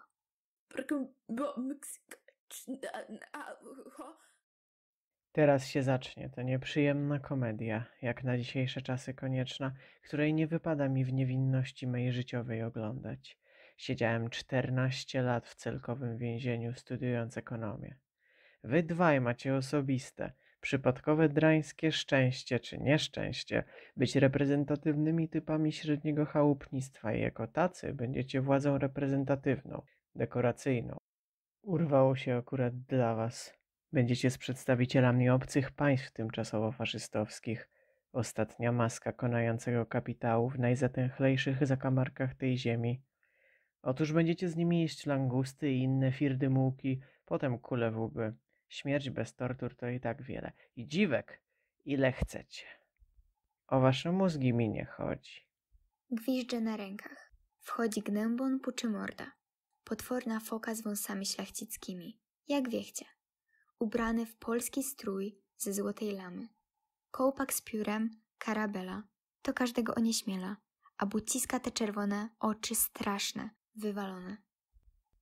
Kołpak z piórem karabela. Do każdego nie śmiela, buciska te czerwone, oczy straszne wywalone.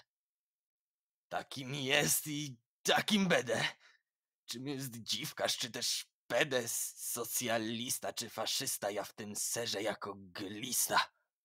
To zaraza czysta z tym wyspiańskim. Siadaj tu, stary durniu, obok tego trupa wielkiego świętego ostatniej rewolucji świata, który dał nam drogę do najwyższego prawa przez opanowanie klas średnich proletariatu.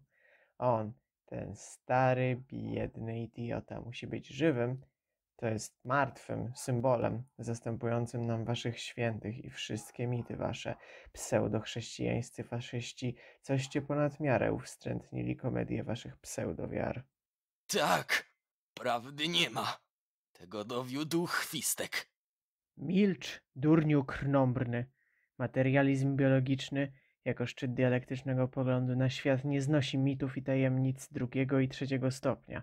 Tajemnica jest jedna, żywego stworzenia i tego, jak inne stworzenia niesamodzielnie je składają, ale tylko w nieskończoności ciemnej, złej, bezbożnej. Czy nie można choć chwilę obejść się bez tych wykładów? Nie. Tu, na ziemskim skrawku, wszystko jest jasne jak byk farnezyjski i będzie takim do końca świata. Wychodzi, ale właściwie nie wychodzi. Odwraca się i mówi jeszcze. Gnębon przeszedł na naszą wiarę z przekonania. Trzeba jakoś zużytkować to stare guano. Nic nie może być zmarnowane, jak ów wstrętnie tak zwanej skrzętnej gosposi. Ech. To nowość naszej rewolucji. Gnębon jest koniecznym momentem dekoracyjnym w tym persyflażu rządów ziemskich. Ten moment to nadzieja różnych draniów, że jednak przeżyją umszturc. A ja co?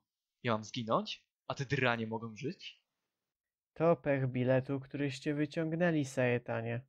Raz trzeba to sobie uświadomić, że żadnej sprawiedliwości nie ma i być nie może. Dobrze, że jest statystyka i z tego trzeba się cieszyć. Wali do niego znowu z kolta. Gnębon siada na worze obok Sajetana, wpatrzony tę pokrwawymi gałami w publikę. To musi być maska. Tego żywy człowiek dać nie może. Fierdusieńko, który przez ten cały czas skończył ubierać księżnę, zrzuca mu kołpak i delię i ubiera go tak siedzącego w łachmany i kaszkiet. Łachmany pokryte są białymi punktami. A co to to białe? Wszy.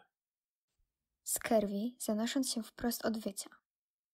Zanoszę się wprost od wycia za utraconym życiem i szczęściem. Może byś ty, Oleandrze, uczynił coś raz dla mnie? Zemsta szlachetnego marzyciela. Czy nie odpowiada ci ta rola? Spuść mnie z łańcucha. Daj mi pracować uczciwie i poczciwie na jakimś marginesie brudnym. Byle zaśmierdziałego ochłapu życia. Będę szewcem w ostatniej nędzy. Zastąpię tych dwóch upiżamionych łotrów w równowadze społecznej. Wskazuje łapą czeladników. Tylko nie to. Tylko nie to, co oni mi tu szykują. Te urwi połcie. Zawyć się z żalu i pożądania. Au.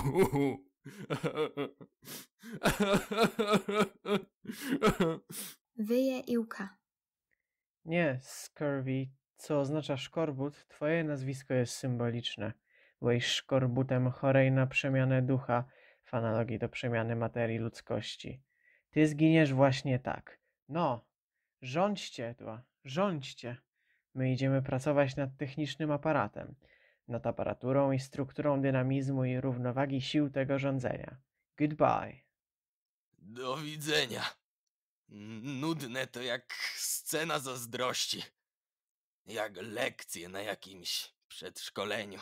Jak wymówki starej ciotki. Albo syntezując to porównanie jak przedszkolenie starej ciotki połączone z wymówkami, a dotyczące robienia przez nią scen zazdrości o drugą ciotkę. Pojawia się znowu tablica z napisem Nuda. Wybambronione.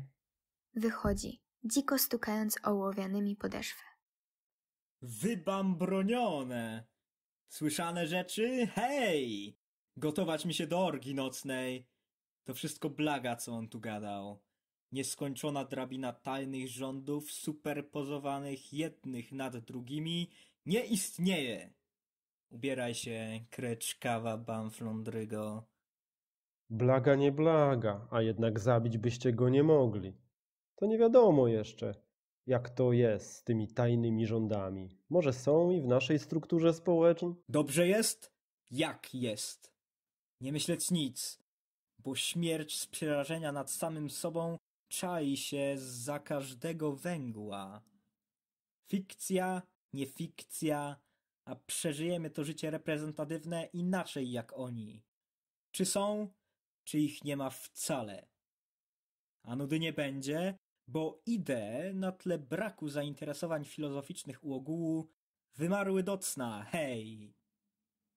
I no smutno jakoś, psia ścierwa. Trzeba się uchlać.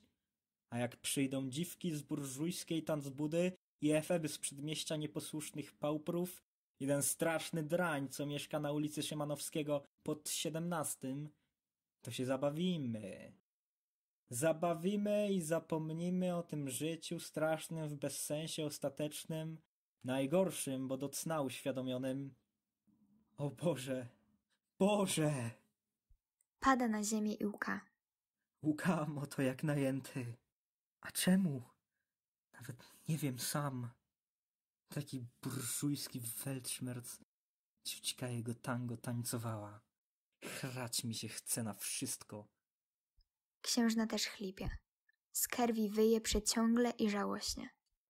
Sajetan, nagle się podnosząc, aż Puczymorda popatrzał na niego ze zdziwieniem. A co? Takem wstał, że nawet wy, była Puczymordo, popatrzyliście na mnie z pewnym zdziwieniem. Ale mam cel.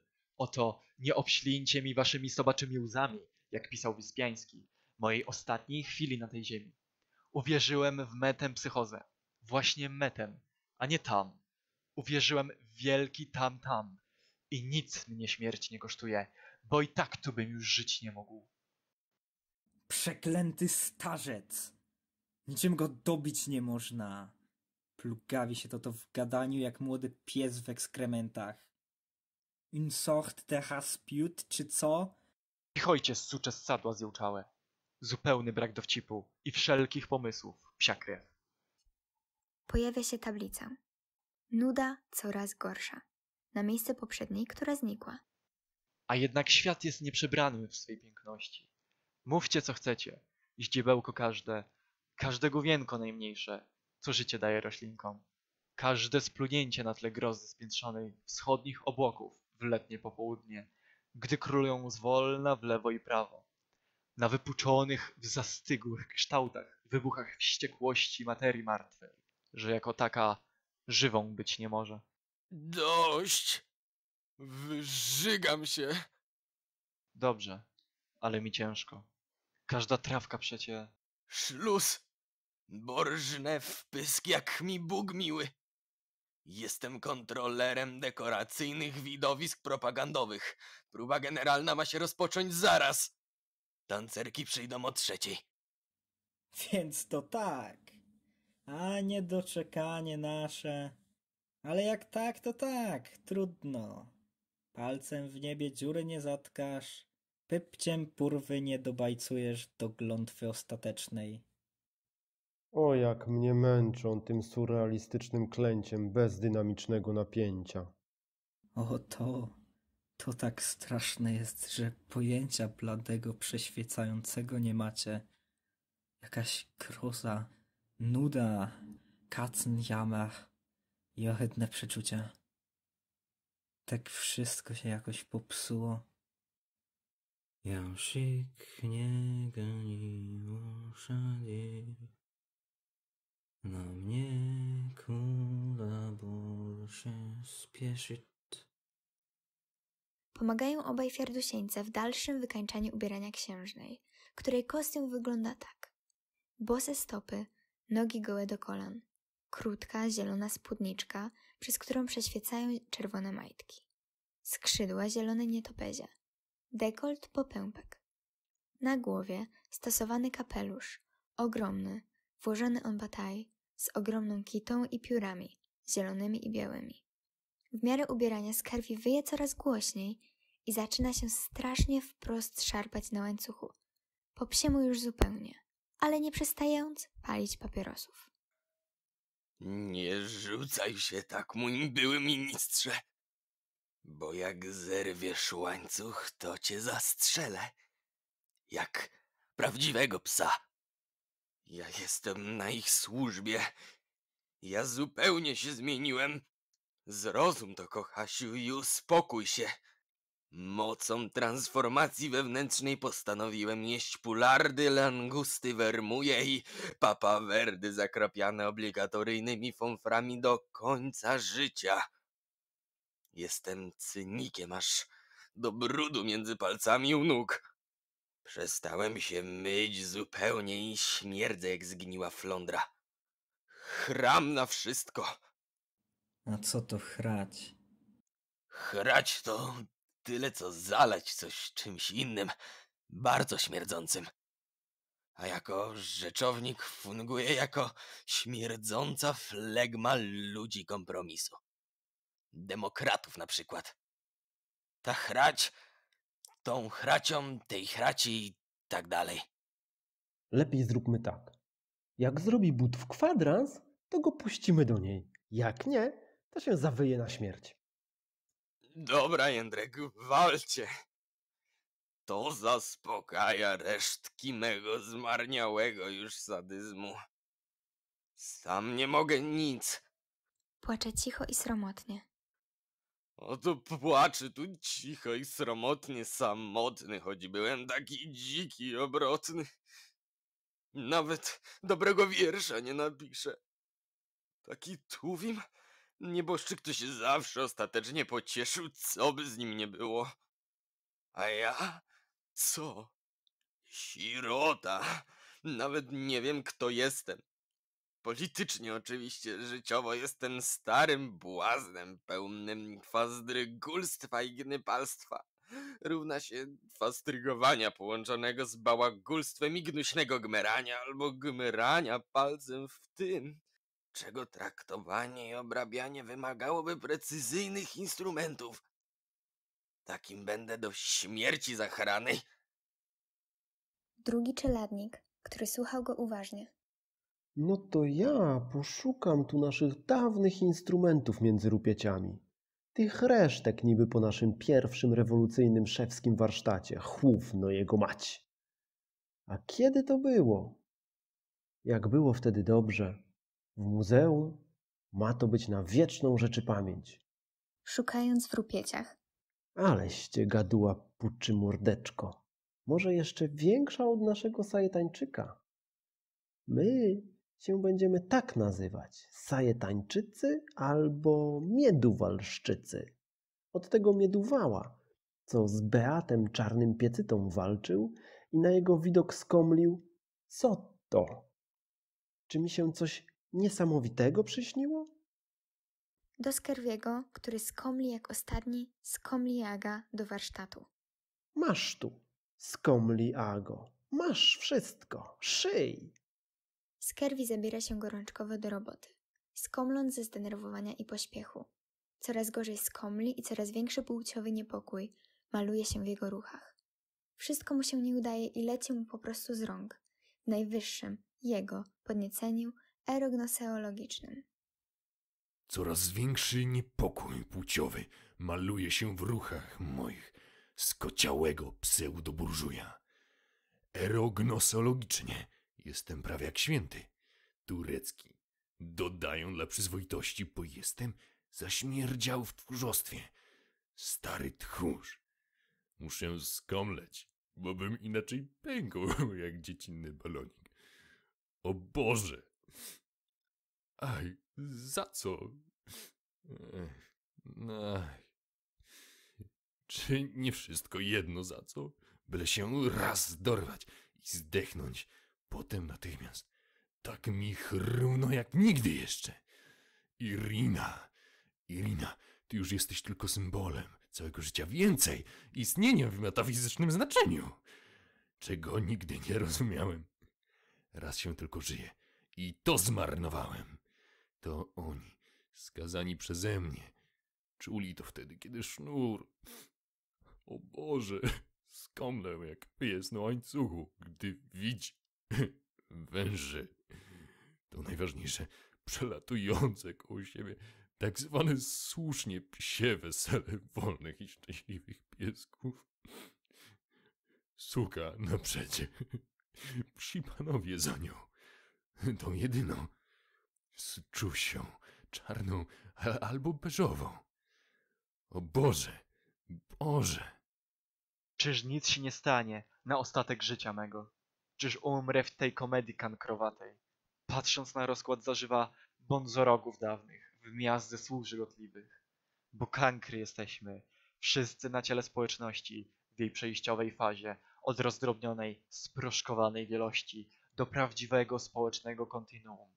w którym zlewają się pojedyncze wrzody indywiduów w jedną wielką muqueuse absolutnej doskonałości wszechogólnego organizmu. Wrzody bolą i cierpią. To jest ich zawód poniekąd. Niech tam. Plaka będzie już tylko rozkosznie swędzić, aż się zagoi nicość. Jezusie Nazareński! Ten rżnie swój wykład przedśmiertny bez żadnego miłosierdzia nad nami. Księżna tańczy. A czyż myślicie, że i my nie powstaliśmy w ten sposób? Rzadka linia monadologów, raczej monadystów, od hylozoistów greckich. Przez Giordana Bruna, poprzez Leibnica, Renuvia, Wildona Carra. Ci ostatni jacyś nietędzy. Trudno. A dalej przez Bilato i Kotarbińskiego w jego nowej transformacji reizmu na żywo. Ala Diru, a wcale nie ala przeklęty demon materializmu Baron von Holbach.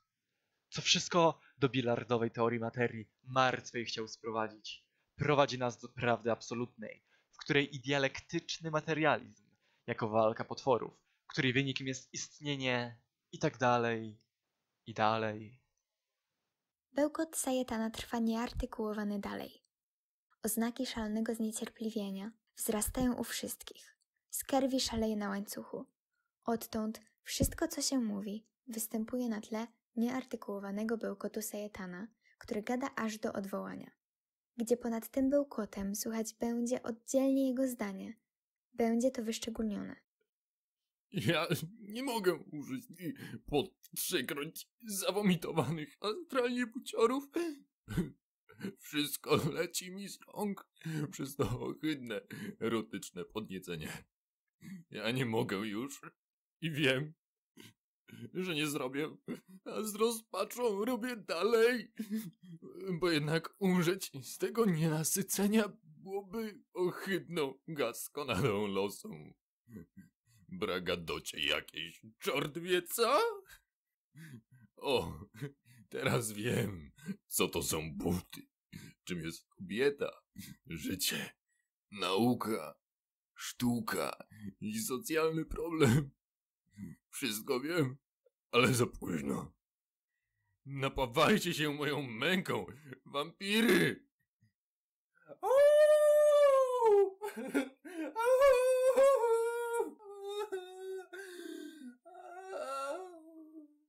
Zaczyna wyć. Już nie skomleć. Po prostu wyje dziko i żałośnie, a Sajetan gada wciąż nieartykułowanie z gestykulacją bajeczną. Drugi czeladnik ubierając księżnę. Zupełna pustka. Już mnie nic nie bawi. Ani mnie. Coś w nas trzasło. Już nie wiadomo po co żyć. Macie to, czegoście chcieli? Co my? Arystokraci czuliśmy zawsze. Jesteście po tamtej stronie. Cieszcie się. Słowa wyłaniają się z ciągłego bełkotu i giną w nim na powrót. Na szczytach zawsze tak, bracia moi. Ponurzy bracia w pustce. W głębi wyrasta nagle czerwony piedestał. Może być katedra prokuratora z drugiego aktu. Na piedestał, na piedestał mnie co prędzej nie mogę żyć bez piedestału. Trzymajcie mnie, trzymajcie mnie, ach, na tym piedestale, bo się za chwilę cała z niego sama, ach, na pysk wywalę. Oto staję w chwale najwyższej na przełęczy dwóch światów ginących. Przebaczcie mi, towarzysze w męce, bo nie blagujcie, męczycie się wszyscy. Nie mówię tego na pociechę dla siebie, tylko to tak faktycznie jest. Przebaczcie, że zawyłem tak jak nieboskie stworzenie, hańbiąc tym rodzaj ludzki. Ale doprawdy już nie mógł. No nie mógł już mi szluz. Ciska but po paru szalonych wysiłkach zginania i szycia grubego płata skóry. Robi to na siedząco, po czym zaczyna pełzać na czterech łapach w kierunku księżnej, wyjąc coraz gorzej. Łańcuch go wstrzymuje i tu wycisk Karwiego staje się wprost strasznym. Wytrzymać nie można w tym płaskim burdyjelu. Tak jakby były wypukłe. Moje faszystowskie, bo faszystowskie szpringle były lepszej marki. I to mój były minister. Taż to panie jest szkandał, jak to mówią w Małopolsce. Ten bezmiar upodlenia. Ale to tak sugestionuje jakoś, że ja bym chciał też jakoś tego... Sajetan bełkocze ciągle. O, psia krew! A jeśli ja nie wytrzymam i też ukorzę się przed tym nieludzkim babiszonem, no to ostatecznie nic strasznego. Korona mi z głowy nie spadnie. Zupełny cynizm. Oto to. Złazi z worka i balansuje na boki, odwrócony przodem do publiki. Balansuj se, balansuj. A jak raz wpadniesz, to od tej wewnętrznej czci dla niej się nie wywiniesz. Księżna woła, mówiąc po rosyjsku, nieistowym głosem. Oto wołam was nieistowym, jak mówią Rosjanie, polskiego słowa na to nie ma, głosem mych nadbebechów i krużganków ducha przyszłego i zatraconego w tych bebechach wylęgłego, ukoszcie się przed symbolem wszechmatry, czyli raczej suprapan babojarchatu, on wybuchnie lada chwila, bo wy Mężczyźni możecie zgnić nagle, zamienić się w kubkę płynnej zgnilizny, jak pan Waldemar w nowelce tego nieszczęśnika Edgara Poe. Wypykniczejecie, wasi schizoidzi wymierają. Nasze schizoidki mnożą się. A, to że Sajetanowi dali połbie, a oprócz morda będzie żarł langusty. To symbol. Póki będzie ruszał usty i żołądka władał spusty, mężczyźni babieją, kobiety eumasy mężczyźnieją. Przyjdzie czas, że może zaczniemy się dzielić jak komórki w nieświadomości metafizycznej dziwności bytu. Hura, hura, hura. Czeladnicy i puczy morda pełzą ku niej na brzuchach. Skarwi rwie się z łańcucha, jak wściekły wśród brzęku i skowytów. Sejtan wstaje i ku niej się też obraca, jak werny chora jaki. Nagle chochoł wstaje i staje nieruchomo. Lekka konsternacja wśród pełznących. Wszyscy, nie wstając, oglądają się na chochoła. My, pełznący, jesteśmy z lekka skonsternowani, że chochoł wstał. Co to znaczy? Nie chodzi o rzeczywistość. Jechał ją sęk, ale co to znaczy w wymiarach wieszczych, powyspiańskich? W tym powyspiańskim gmachu myśli narodowej, zaludnionym przez tłumy szabierzy i wykładaczy pism, które nic nie znaczą i są tylko artystyczną fantazją, napięciem dynamicznym dla czystej formy w teatrze. Czy, czy ja mówię bez sensu? Chochoł podchodzi do piedestału, spada z niego strój chocholi i okazuje się, że to jest bubek we fraku. Mistrząc się do księżnej. Pani Ireno, pani się tak ślicznie śmieje. Ta chodźmy na dancing. Ta chwila, co nigdy nie wróci i to urocze bajkowe tango. Ta słowo daje. Jak werny chora jaki, będę gadał jeszcze długo dość. Ale gdzie ta? Oto wstaje wszechbabio. Trochę z ruska, z akcentem na ostatnią głoseczkę najmilejszą. Nawet ona mi się podoba. Jeśli nie zdążę skonać przed zapadnięciem nocy i kurtyny, to wiedzcie, że nim palta w waszych zachranych garderobach odebrać zdążycie, ja już żyć nie będę. To jest więcej niż pewne. Mam dziurę od siekiery we łbie i dziury od kul w brzuchu i mózgu, poprzez ucho. Bełkot jego trwa dalej. Pokonała mnie. Ścierwa jej pyzdry. Nie dam rady. Pełznie. Wszechbabio! Wszechbabio! Och, co w to? Ach, to w to. I tamto w tamto. A kto powie, czy ja ham? To. Jem jest władca idealny. Mumia trupia, bardzo głupia. Wgramoliłem w los fatalny. Niech mnie inni tam odkupią. Nie dbam o to. Ach, to w to, to. Ot jest co? Wali się na ziemię i pełznie ku księżnej. Serce dalej dyszy.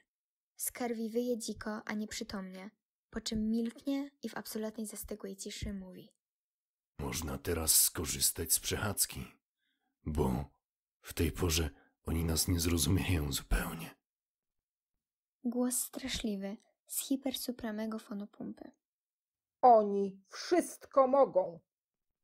Na księżnę z góry spuszcza się druciana klatka, jak dla papugi. Księżna zwija skrzydła. Skerwi wśród ciszy. Jak boli w sercu. To od papierosów. Naczynia wieńcowe zniszczone. Rotten bulkheads. Tyś bólów wszystkich król. Tyś to fizyczny ból. Do czorta.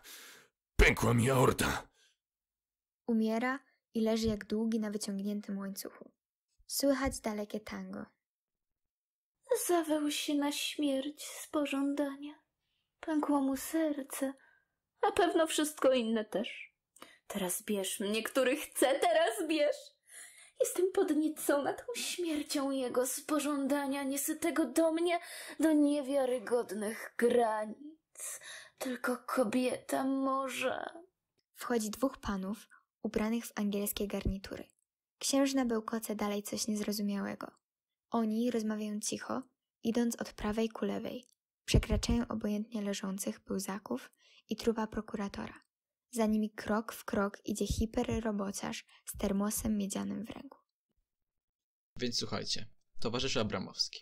Ja rezygnuję na razie z upaństwowienia kompletnego przemysłu rolnego, ale nie jako kompromis. Oczywiście. Prześwietlenie ideowe tego faktu będzie takie, że oni muszą to zrozumieć jako tylko i jedynie czasowe przesunięcie. Bełkot księżnej staje się artykułowany. Z matriarchatu ultrahiperkonstrukcji, jak kwiat transcendentalnego lotosu, spływam między łopatki Boga. Zakrysty małpę, jak papugę, płachtą jaką. Niech przestanie świergolić i skrzeczeć. Do fufy z matriarchatem. Straszny hiperrobociarz biegnie i zarzuca na klatkę czerwoną płachtę, którą mu podał z walizki Fierdusieńko. Otóż słuchajcie, towarzyszu Abramowski. Byle tylko utrzymać się na samym punkcie rozpaczy.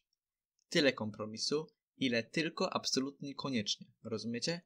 Koniecznie potrzeba. Może matriarchat przyjdzie z czasem, ale nie należy robić z niego hałaśliwej jakiejś gaskulandy zawczasu. Ależ oczywiście. Szkoda tylko, że my sami nie możemy być automatami.